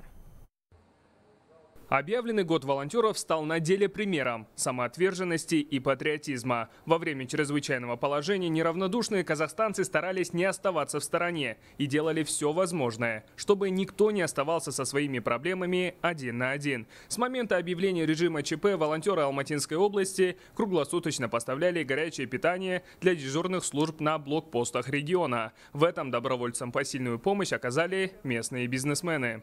Я думаю, сейчас как раз это то время, которое нужно э, максимально помочь, чем каждый может именно в такие моменты должен бизнес тоже помогать. Я думаю, это очень правильно. Я думаю, мы в дальнейшем тоже этот кризис нормально преодолеем. Масштабно поддержали жители края ЖТСУ и акцию Ельбаса «Безбергемас». Благодаря фонду на протяжении уже трех месяцев многодетные и малообеспеченные семьи, инвалиды и ветераны Великой Отечественной войны на еженедельной основе получают продуктовые наборы. Даже в небольшом количестве, кто как может, поможем нашему народу, казахскому, разницы нету. Здесь все интернациональная страна, поможем, окажем помощь. Волонтеры региона бесплатно раздают медицинские маски и другие средства индивидуальной защиты, оказывают помощь пожилым по хозяйству. Незанятую и активную молодежь привлекли к благотворительным акциям и волонтерской работе. До сегодняшнего дня помощь получили больше 24 тысяч семей. Первый раз снег чистили, в этот раз помогли под картошку копать огород. Очень я благодарна. Такая благодарность, вообще благодарна от такому движению, которое вот именно нас, стариков, одиноких, да, не забывайте. Это очень внимание дорого стоит для нас. Посильную помощь оказали жители региона и в момент прорыва дамбы в Туркестанской области. В Мактааральский район доставили свыше 260 тонн гуманитарной помощи. Это продукты первой необходимости и стройматериалы. Труд волонтеров не остался незамеченным. За неравнодушие к проблемам общества их отметили благодарственными письмами. Сегодняшнее это благодарственное письмо еще больше послужит мотивацией, еще больше подтолкнет нашу молодежь заниматься волонтерской деятельностью. И мы считаем, что эта награда является общей наградой всех волонтеров Алматинской области. В борьбе с эпидемией сплотились все. Именно поэтому девиз всего казахстанского общества в последние месяцы звучит как «Безбергемес» – «Мы вместе». Азад Жумаханов, Куаныш Тургенбаев, Хабар 24, Алматинская область. Сильная жара ожидается на большей части страны. Так, в Кустанайской области температура воздуха поднимется до 37 градусов, в до 43. Также жарко будет в Мыгостауской, Западно-Казахстанской, Северо-Казахстанской и Акмолинской областях. В последние синоптики предупреждают о чрезвычайной пожарной опасности. Усиление ветра прогнозируется в Туркестанском и Атырауском регионе. В октябре, по данным Казгидромета, будет гроза с порывами ветра до 18 метров в секунду.